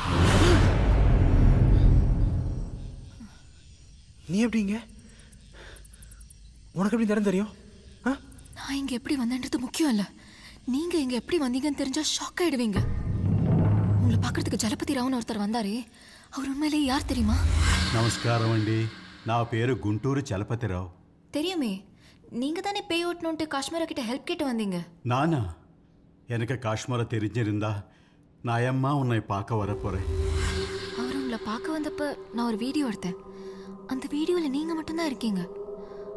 அவர் இருந்த இடத்துல ஏதோ அமானுஷமா தெரியுது.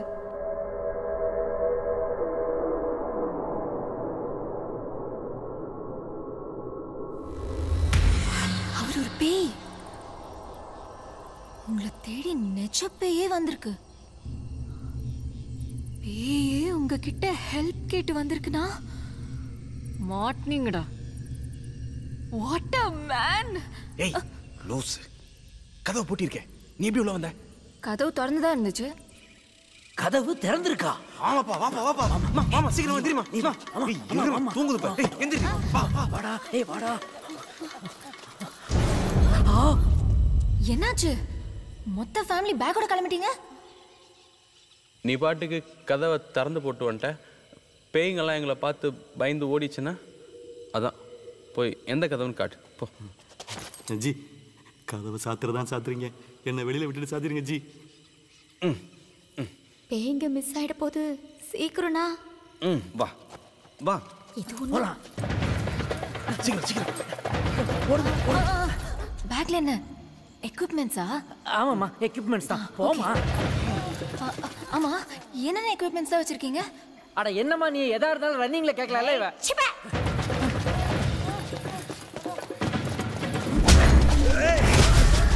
ஐயோ பாத்துப்பா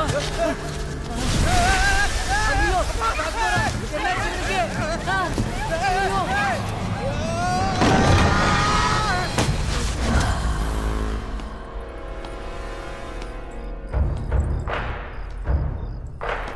கதவு திறந்துருக்குன்னாங்க. கொசு வந்துருமேனு சாத்த போனேன். அதுக்குள்ள உங்க ஆளுங்க. காஷ்மோரா நீ எனக்கு அதனால் தான் உன்னை தேடி வந்த யமன் ஏமாந்து சென்றான்.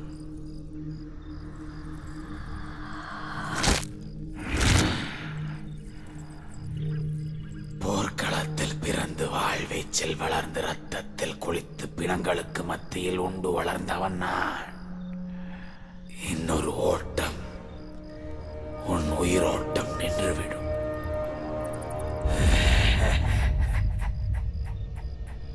சூப்பர் ஜி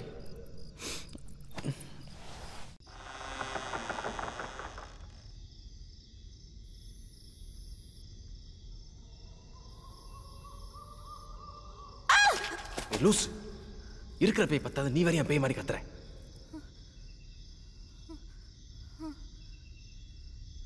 నమస్కారం అండి నేను చలపతిరావు చలపతి రావు போட்டோ கீழே பாருங்க தோற்றம் வரைவு தெலுங்குல எழுதியிருக்கு. நீ தானே சொன்ன? வந்தவர் ஃபோனில் தெரியல பேயின்னு. சித்தா தானே பேய வர முடியும்? அவர் சுத்தி எழுபத்தஞ்சு வருஷம் ஆகுதுங்க. உங்க வீட்டுக்கு பேய் வரலாம். ஓகே? ஆனா எங்க வீட்டுக்கு எதுக்கு வரணும்? யார் வீட்டு திருவேணி யார் வந்து யாரிடற யார் போக்குவாரோ ஐயோ என்ன ஜி? யோ அங்க பாரியா. சலபதிராவை சுத்தி எழுபத்தஞ்சு வருஷம் ஆயிருக்கு. தெலுங்குல வட்ட வட்டமாடி இருந்தா? அது ஜலபதிராவா? அவர் ஆள் எப்படி இருப்பாப்ல தெரியுமா? நல்லா குண்டா கருப்பா ஃப்ரெஷ்ஷா இருப்பாப்ல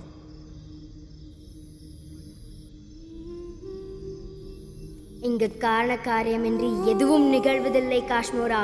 தேடிச் செல். அப்பா.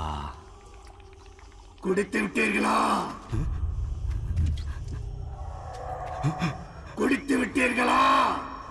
என்ன ஜி நீங்களாம் பேசுறீங்க. முழுமையாக குடித்து விட்டீர்களா? ஆமா ஜி ஏன்? நீங்க குடிக்கலாம்னு வச்சிருந்தீங்களா ஜி?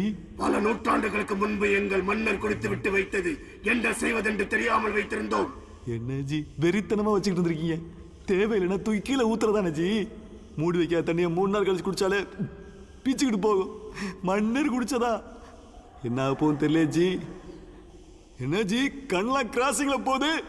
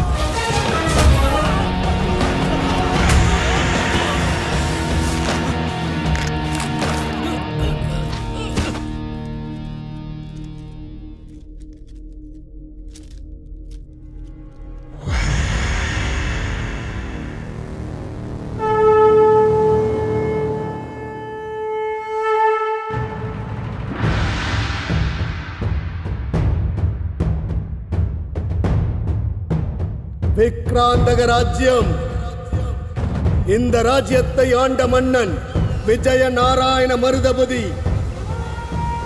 ராஜ்யத்தின் போர்ப்படையில் பதிமூன்று தளபதிகள் இருந்தார்கள்.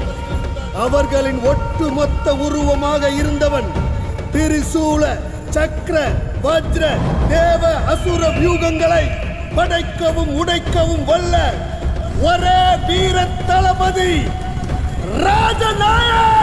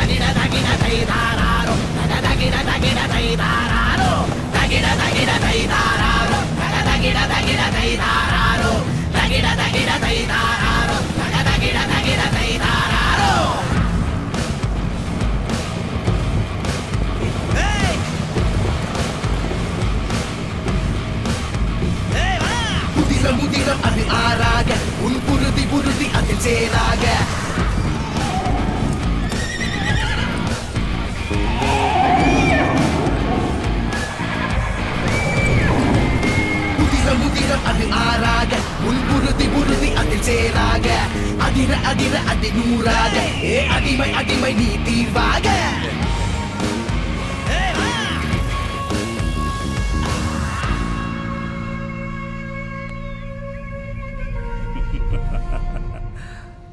சபாஷ் ராஜ்நாயக் சபாஷ் உன் வீரமும் விவேகமும் கொடுத்தது கொஞ்ச நஞ்சம் அல்ல கண்பட்ட இடமெல்லாம் நம்முடைய ராஜ்யம். வேண்டியதை கேள். கண்படாத இடத்தின் மேல்தான் இந்த ராஜ்நாயக்கின் ஆசையெல்லாம்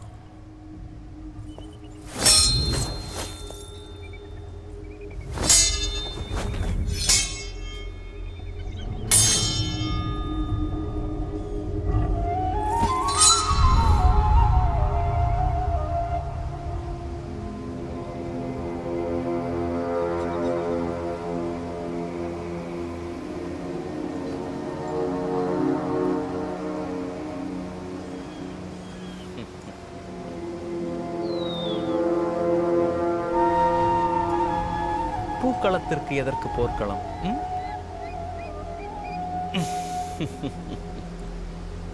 பலமும் பலவீனமும் நிறைந்தவன் மனிதன்.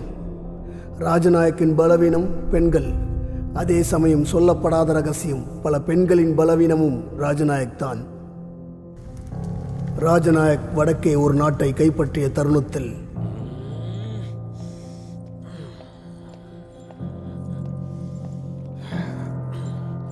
ஏன் இவ்வளவு நேரம். இந்த மன்னருக்கு மொத்தம் இருபத்தேழு மனைவிமார்கள். அந்த புறத்தில் முப்பது காதலிகள். ஒவ்வொருவராக அழைத்து வருகிறேன். முட்டாள். பிரபு? வானத்தில் உள்ள நட்சத்திரங்களை எல்லாம் மொத்தமாக பார்ப்பதுதான் அழகு. மொத்தமாக அழைத்து வா. ஆகட்டும் பிரபு. நெல். பிரபு? அவர்களையும் கணக்கில் சேர்த்தாயா? ஐயோ பிரபு அவர்கள் பணிப்பெண்கள் பிரபு. பெண்களில் என்னையா பணிப்பெண்கள்? அவர்களையும் கணக்கில் எடுத்துக்கொள். ம்?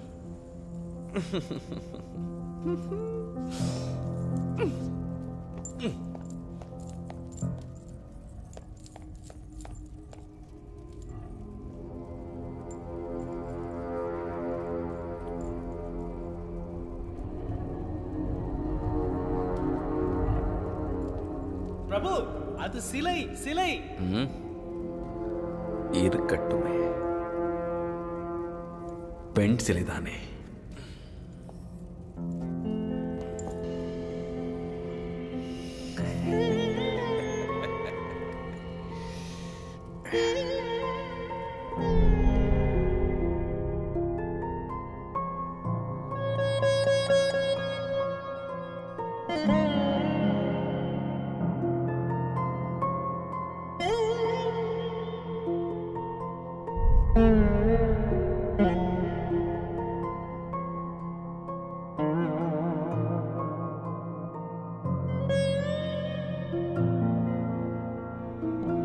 ராஜநாயக் பற்றி தெரிந்தும் மன்னர் மௌனமாக இருந்ததற்கு காரணம் ராஜநாயக் வென்று குவித்த ராஜ்யங்கள்தான்.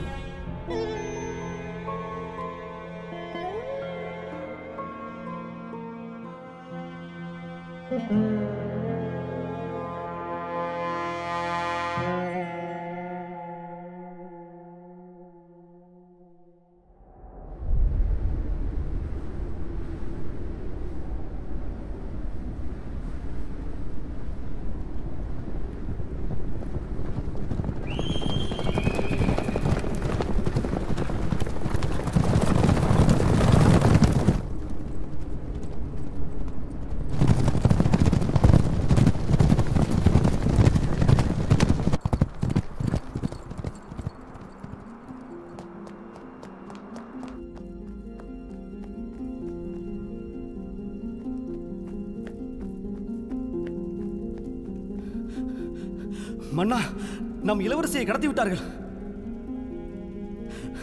நம் தளபதி ராஜ்நாயக்கும் ஊரில் இல்லை.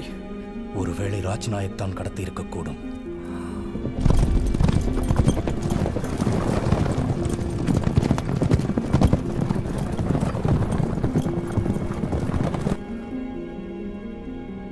ரத்னமகாதேவியை மீட்டு கொண்டு வருபவருக்கு பாதி ராஜ்யமும் ரத்னமகாதேவியை திருமணமும் செய்து வைப்பதாய் அறிவியுங்கள்.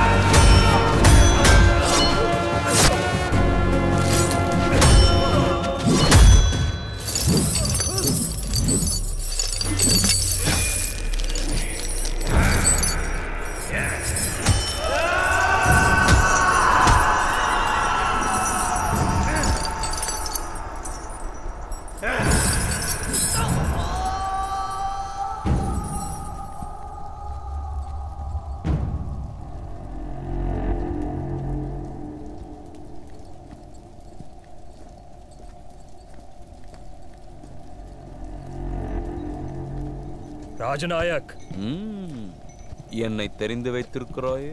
ஓர் ஆயிரம் பேர் கொண்ட படை வந்தாலும் ஒற்றை ஆளாய் வியூகம் வகுத்து வெல்பவன் ராஜநாயக் என்று உன் போர் யுக்தியை பற்றி எங்கள் நாட்டில் மெய்சிலிர்த்து பேசுவார்கள்.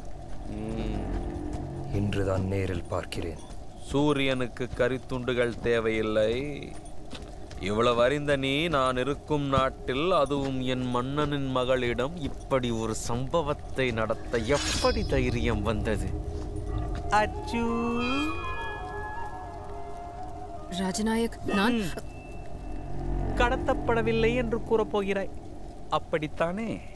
கடத்தப்பட்டிருந்தால் நீ முன்னே அமர்ந்து அவன் பிடி உன் மேல் இருந்திருக்கும். நீ பின்னே அமர்ந்து உன் பிடி அவன் மேல் இருக்கும்போது புரிகிறது.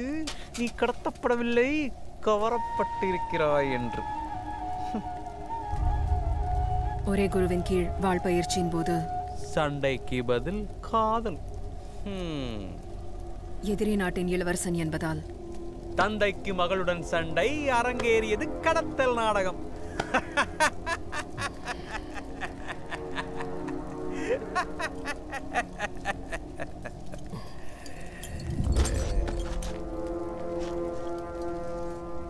ராஜநாயக் நான் இல்லாமல் இவள் இல்லை. இவள் இல்லாமல் நான் இல்லை. தயவு செய்து வழியை விடு. நான் வந்தது மன்னரின் மகளுக்காக மட்டும் என்றால் வழி அனுப்பி வைத்திருப்பேன். ஆனால் நான் வந்தது என் வருங்கால மனைவி. ரத்துவுக்காக. ராஜநாயக். நமது ஊரில் பிறகு வைத்துக் கொள்ளும். ராஜநாயக். நீ ஆண் மகன்தானே? ராஜநாயக். இல்லையா? வா. வந்து என்னை கொன்றுவிட்டு ரத்னாவை அழைத்துச் செல். வா.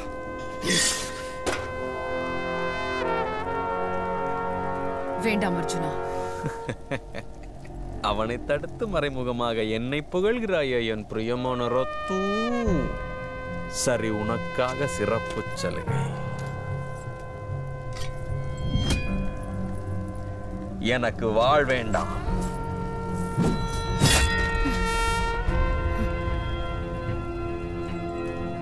கேடயம் வேண்டாம்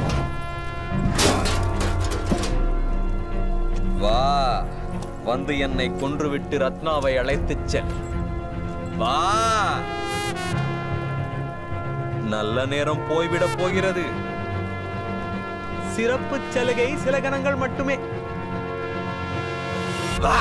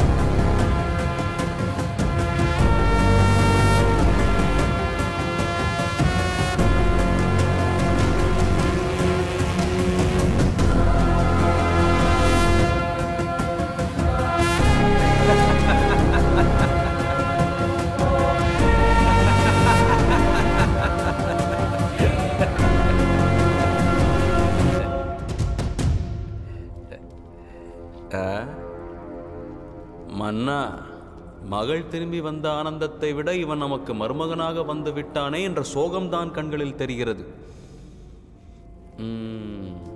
ராஜ்நாயக் இருக்கும் இடத்தில் வாளையும் வார்த்தையையும் கவனமாக கையாள வேண்டும். அறிவித்தபடி மகளை மீட்டு வந்ததற்காக பாதி ராஜ்யமும் மருமகனுக்கு திருமண பரிசாக மீதி ராஜ்யமும் வேண்டும். மன்னா! என்ன? மன்னருக்கு வாரிசாக இளவரசர் இருக்கிறார்.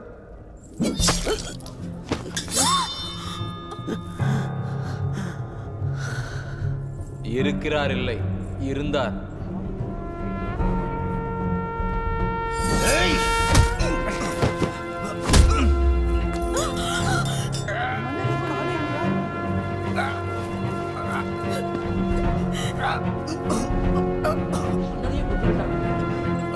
இங்கிருக்கிறவர்கள் யாரேனும் இருந்தவர்கள் ஆக வேண்டுமா?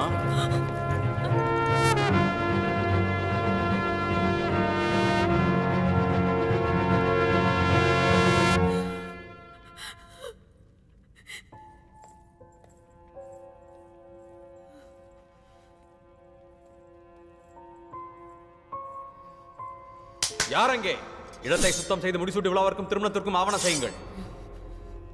புது மாப்பிள்ளை சற்று இலைப்பாரி வருகிறேன்.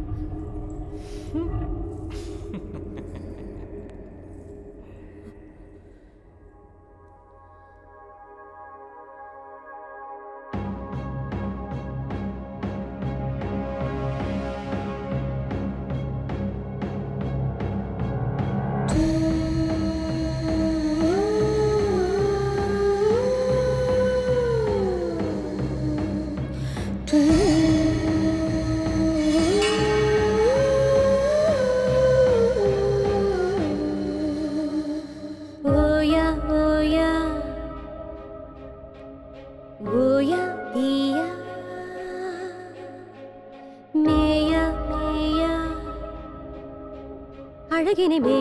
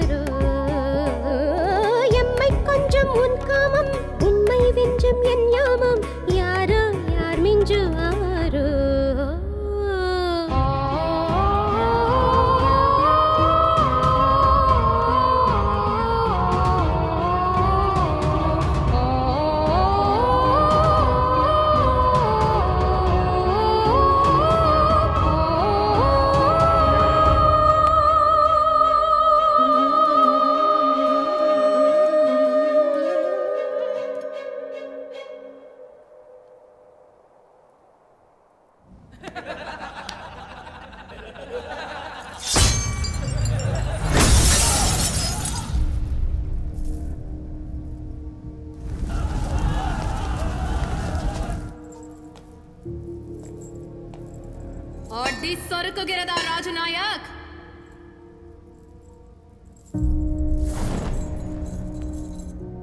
இது நீ எனக்கு கற்றுக் கொடுத்த வித்தைதான்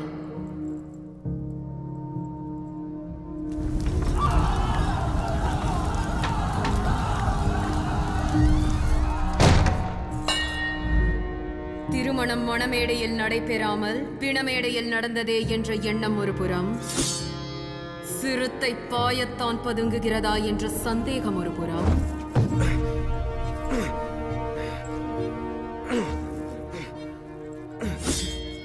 எங்கிருந்து எதை எடுத்து நம்மை கொல்வாள் என்ற கவனம் ஒரு புறம். எதிரே உலகின் மொத்த அழகின் உருவமாக இருக்கும் இவளை அடைந்தே தீர வேண்டும் என்ற விரகதாபம் ஒரு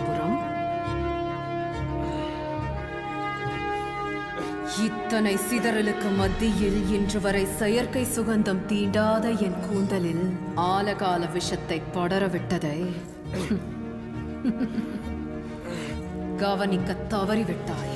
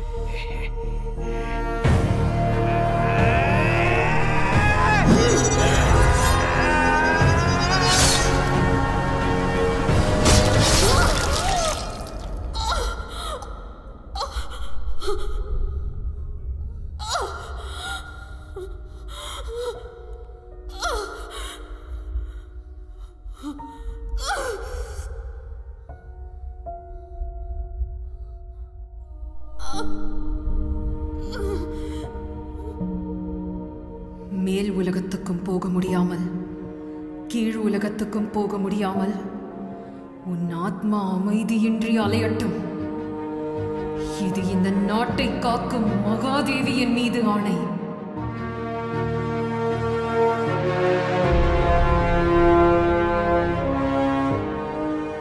வாழும் காலத்திலேயே வெறிகொண்ட பேய் போல வாழ்ந்தவன் தற்போது ரத்ன மகாதேவியின் சாபத்தினால் உக்கிரம் கொண்ட பெரும் பைசாசமாகவே உருக்கொண்டான்.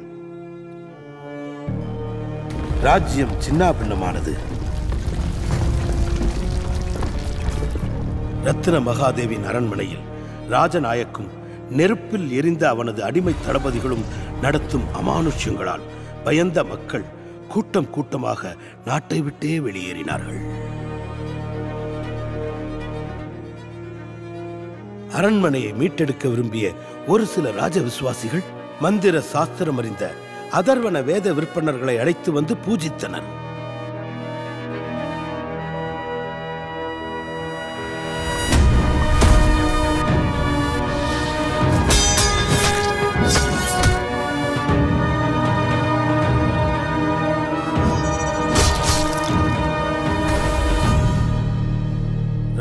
ராஜநாயக் கடைந்த சாபம் பிரம்மஹத்தி தோஷத்தை விட வலிமையானது. அவன் சாப விமோச்சனம் பெற்றால் மட்டும்தான் இங்கு நடக்கும் அமானுஷ்யங்களுக்கு முடிவு கிட்டும். அது அவ்வளவு எளிதல்ல. ஆயிரம் ஆண்டுகளுக்கு ஒரு முறை வரும் நவகாளிக பௌர்ணமி அன்று சக்கர வடிவ ஹோமகுண்டத்தில் யாகம் வளர்த்து ஒரே குடும்பத்தைச் சேர்ந்த ஐந்து ரோகிணி நட்சத்திரக்காரர்களை பூஜையில் பலி கொடுத்தால்தான் ராஜநாயக்கின் ஆத்மா சாப விமோச்சனம் அடையும். எங்க குடும்பத்தில் இருக்கிற அஞ்சு பேருமே ரோஹி நட்சத்திரத்தை பிறந்தவங்க. ஆனால் அந்த பலி பூஜையை தலைமுறையின் முதல் பெண் வாரிசு அதுவும் ஒரு கன்னி பெண் தான் நடத்த வேண்டும். உங்க வீட்டுக்கு பேய் வரலாம். ஓகே. ஆனா எங்க வீட்டுக்கு அதுக்கு வரணும்? இத்தனையும் செய்து பூஜை நடந்தாலும் ஒரு விசித்திர சிக்கல் உண்டு. இந்த பலி பூஜை மூலம் சாப விமோச்சனம் பெற்று விடுதலை அடையும் ராஜநாயக்கின் ஆத்மா தன் அடங்காத உக்கிர சக்தியை எப்படி பயன்படுத்தும் என்பதை அவனது ஆத்மாவை தவிர வேறு எவராலும் கணிக்க முடியாது. வேறு வழி இல்லையா? தலைநகரை வேறு இடத்திற்கு மாற்றி ராஜ்யத்தை ஆண்டு வாருங்கள் ராஜநாயக்கும் நெருப்பில் எரிந்த அவனது அடிமை தளபதிகளும் நவக்காளிக பௌர்ணமிக்காக காத்திருக்கக்கூடும்.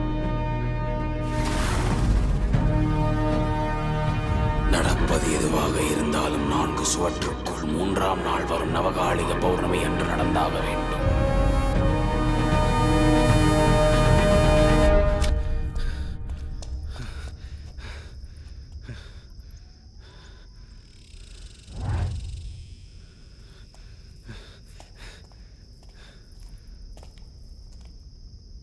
ஏய் கண்டதையும் எடுத்துக்கிட்டு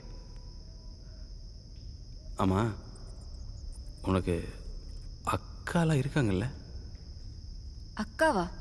இல்லையே. அக்கான சொந்த அக்காவா? சித்தப்பா பொண்ணு பெரியப்பா பொண்ணு கசின்ஸு இருக்காங்கல்ல? இல்ல. என் ஃபேமிலியிலே நான் ஒரே பொண்ணு. ஏன்? ஏன்னா என் பரம்பரையிலே நான் ஒரே பொண்ணு? அதுக்கு நான் என்ன பண்ண முடியும்? அக்காலாம் யார் பிறக்க சொன்னது? உயிரெடுக்கிறதுனே வந்திருக்கிய சனியன். மொத்த குடும்பத்துக்கு கொடுத்துருவாங்களா?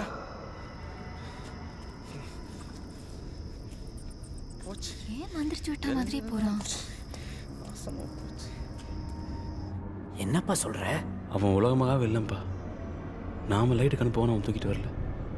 நம்மளை லைட்டுக்கு அனுப்ப தான் தூக்கிட்டு வந்திருக்கான். அவன் சாப விமோச்சனம் பெற்று வெளியே வரணும்னா ஒரே குடும்பத்தை சேர்ந்த ரோஹி நட்சத்திரத்தில் பிறந்த அஞ்சு பேரை அவன் பலி கொடுக்கணும். யாவனி ஒன்றும் ஆர்வக்குழலாம் இங்கே வரலப்பா. அவன் தான் தூக்கிட்டு வந்திருக்கான். அவன் தான் நம்மளை பலி கொடுக்க போகிறான் என்னப்பா ஏதோ சொல்றியப்பா? அப்ப அது நம்மகிட்ட பொய் சொல்லுச்சா?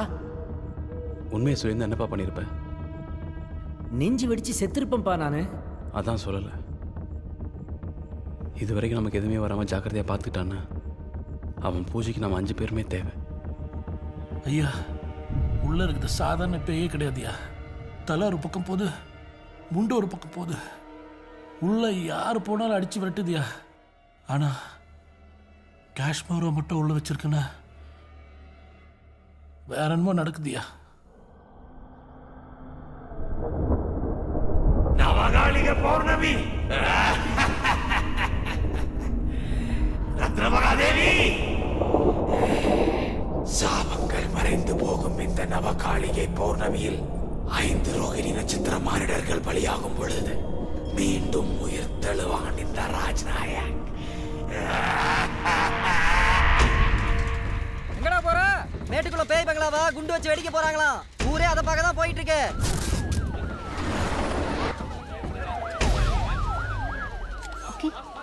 இங்க நம்ம பின்னாடி பார்த்துட்டு இருக்கிறது மிகவும் பழமை வாய்ந்த அரண்மனை. இத வெறும் அரண்மனைன்னு சொல்றதை விட மேட்டுக்குளம் பேய் வீடுன்னு சொன்னா இங்க மிக மிக பிரபலம். இந்த பேய் வீட்டை இன்னைக்கு குண்டு வச்சு தகர்க்க போறாங்க. ஒரு தடவை நல்லா யோசிச்சுக்கோங்க பேய் ஓட்டுறவங்கள வச்சு వద్దు వద్దు బాబు అన్నీ చేశాను చోటానిక్కల్లా స్టార్ట్ பண்ணி சோழிநல்லூர் தர்கா வரைக்கும் எல்லாமே பார்த்தாச்சு ஏமி பிரயோஜனம் இல்ல பிளாஸ்ட் பண்ணி எல்லாம் முடிச்சிருங்க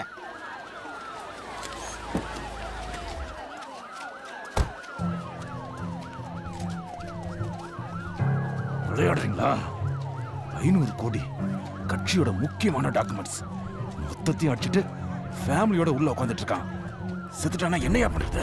சார் பப்ளிக் இருக்கு சார். மொத்த மீடியாவும் இங்கே தான் சார் இருக்கு. தயவு செஞ்சு எந்த பிரச்சனையும் வேணாம் சார். உள்ள இருக்க ஆயிரம் குண்டு சமம். சார் கண்ணால பார்த்தா நான் சொல்றேன். இந்த குண்டெல்லாம் அவன் ஒன்றும் பண்ணாது.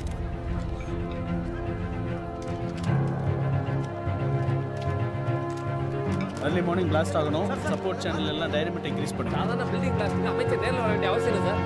சார்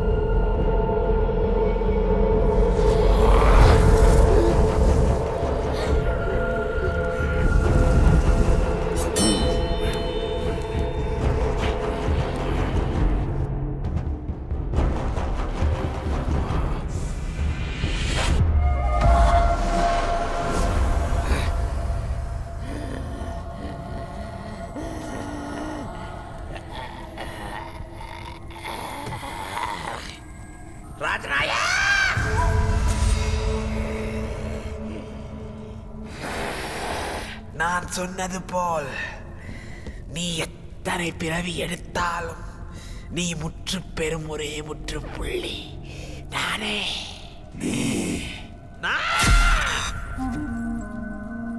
என்னை விரும்பிய ஒரே காரணத்திற்காக அந்த அர்ஜுனனை கொன்றதற்கு சாட்சியானவள். உன்னை நம்பிய என் தந்தையின் மரணத்திற்கு அந்த பச்சிளம் பாலகனின் உயிர் பிரிந்தாதே கணத்தில் பிணமான இதற்கெல்லாம் உன்னை கொன்று முக்காலமானவள். நீ யார் ரூபத்தில் வந்தாலும் என் சாப விமோச்சன பலி பூஜையை தடுக்க முடியாது ரத்னா. பார்க்கலாம். ஏன்பா என்னப்பா நடக்குதுங்க நான் வந்த வேலை முடியும் வரை இந்த உடல் எனக்கு தேவை.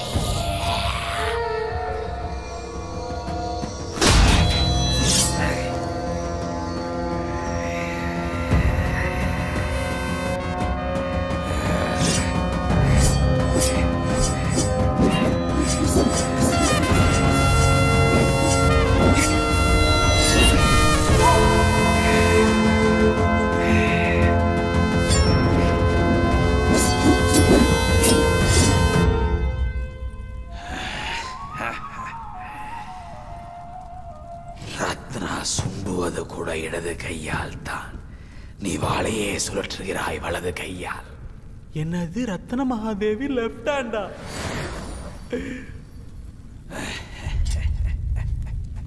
அவ்வளவு பெர்ஃபார்மன்ஸை போட்டு கடைசியில் ராங்காக ரைட்டில் பிடிச்சிட்டியடா.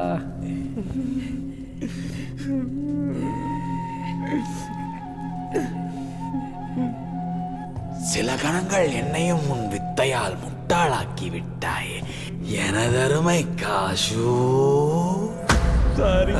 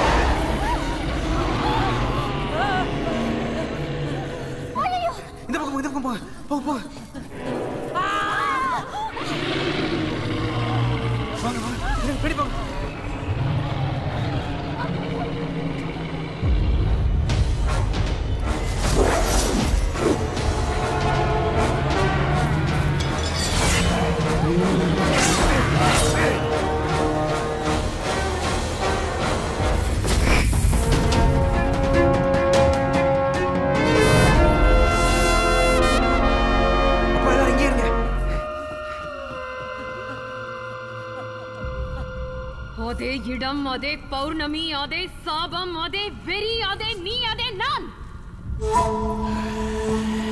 வராஜ் நாயக்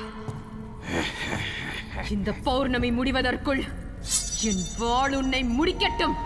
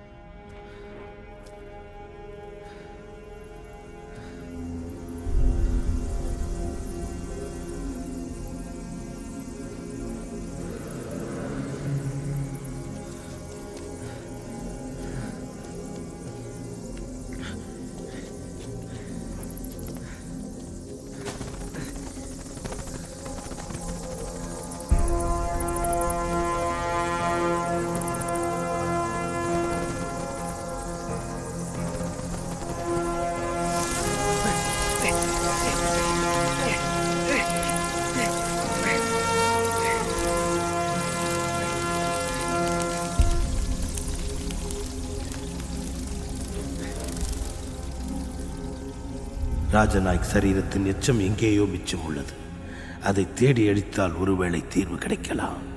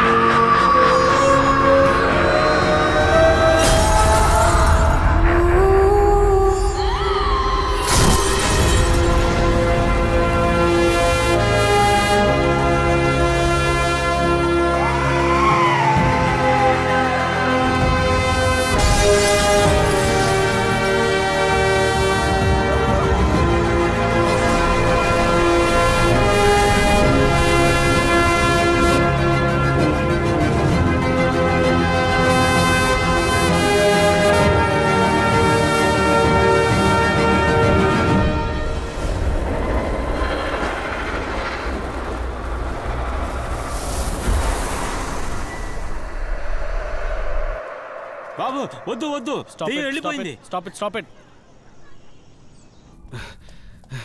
வா என்ன பாச்சு அந்த ரத்ன மகாதேவி நம்ம எல்லாரையும் காப்பாத்திட்டாப்பா என்னது அ, ம், அந்த ரத்ன மகாதேவியை நாம காப்பாத்திட்டோம்ப்பா அது மா யாமினி மா யாமினி எழுந்துருமா எழுந்துரு எழுந்திருச்சு அந்த தெய்வத்தோட மகிமையை பாருமா என்னாச்சு? காஷ்மோராங்கிற பேருக்கு ஏத்த மாதிரி எல்லா பேய்களையும் அழிச்சு பாதாளத்துக்கு அனுப்பிட்டாரு. அனுப்பிட்டாரா?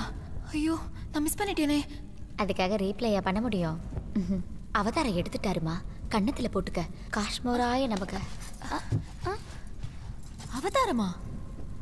ஆமாமா அவன் தன்னுடைய உச்சபட்ச சக்தியை எழுப்பி ஒரு ஒளிப்பிழம்பா மாறி அவதாரமாவே ஆயிட்டாம்மா.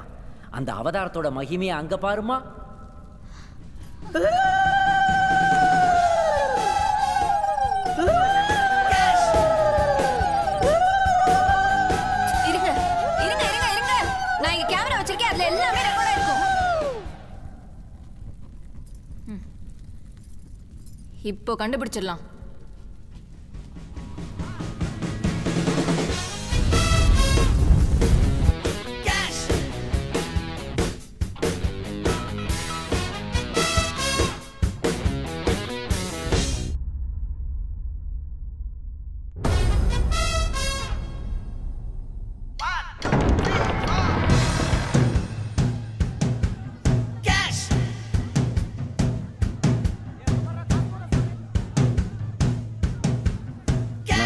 நல்ல க்ரௌடுப்பா இதை அப்படியே பப்ளிசிட்டிக்கு யூஸ் பண்ணிக்கணும்.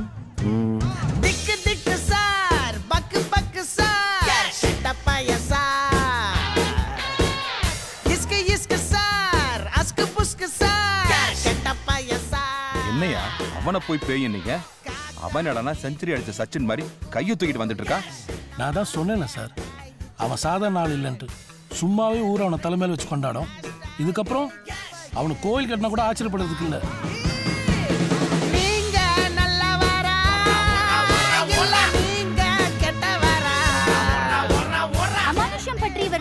கூறுவதை நம்பலாமா வேண்டாமா என்கிற விவாதங்களை எல்லாம் தாண்டி நூறு ஆண்டுகளுக்கும் மேலாக மக்களிடம் நிலவி வந்த பயத்தை காஷ்மீரா குடும்பம் போக்கியிருக்கிறார்கள் என்பதை அனைவரும் ஒப்புக்கொள்ளத்தான் வேண்டும். பக்கு பக்கு பக்கு பக்கு பக்கு சார்! திக்கு திக்கு திக்கு திக்கு திக்கு சார்! சாமி. அதுங்களோட போராடி இந்த ஒரு பேக்கை மட்டும்தான் காப்பாற்ற முடிஞ்சுது. என்னது? பணப்பேன்னு கேள்விப்பட்டிருப்போம். ஆனா நாங்க விரட்டின விரட்டல எல்லா பணத்தையும் தூக்கிக்கிட்டு பறந்து போயிருச்சு. டாக்குமெண்ட்ஸ் எல்லாம் இருக்குல்ல? டாக்குமெண்ட்ஸ் மட்டும்தான் இருக்கு. சாமி! பல பல மூடர்கள்.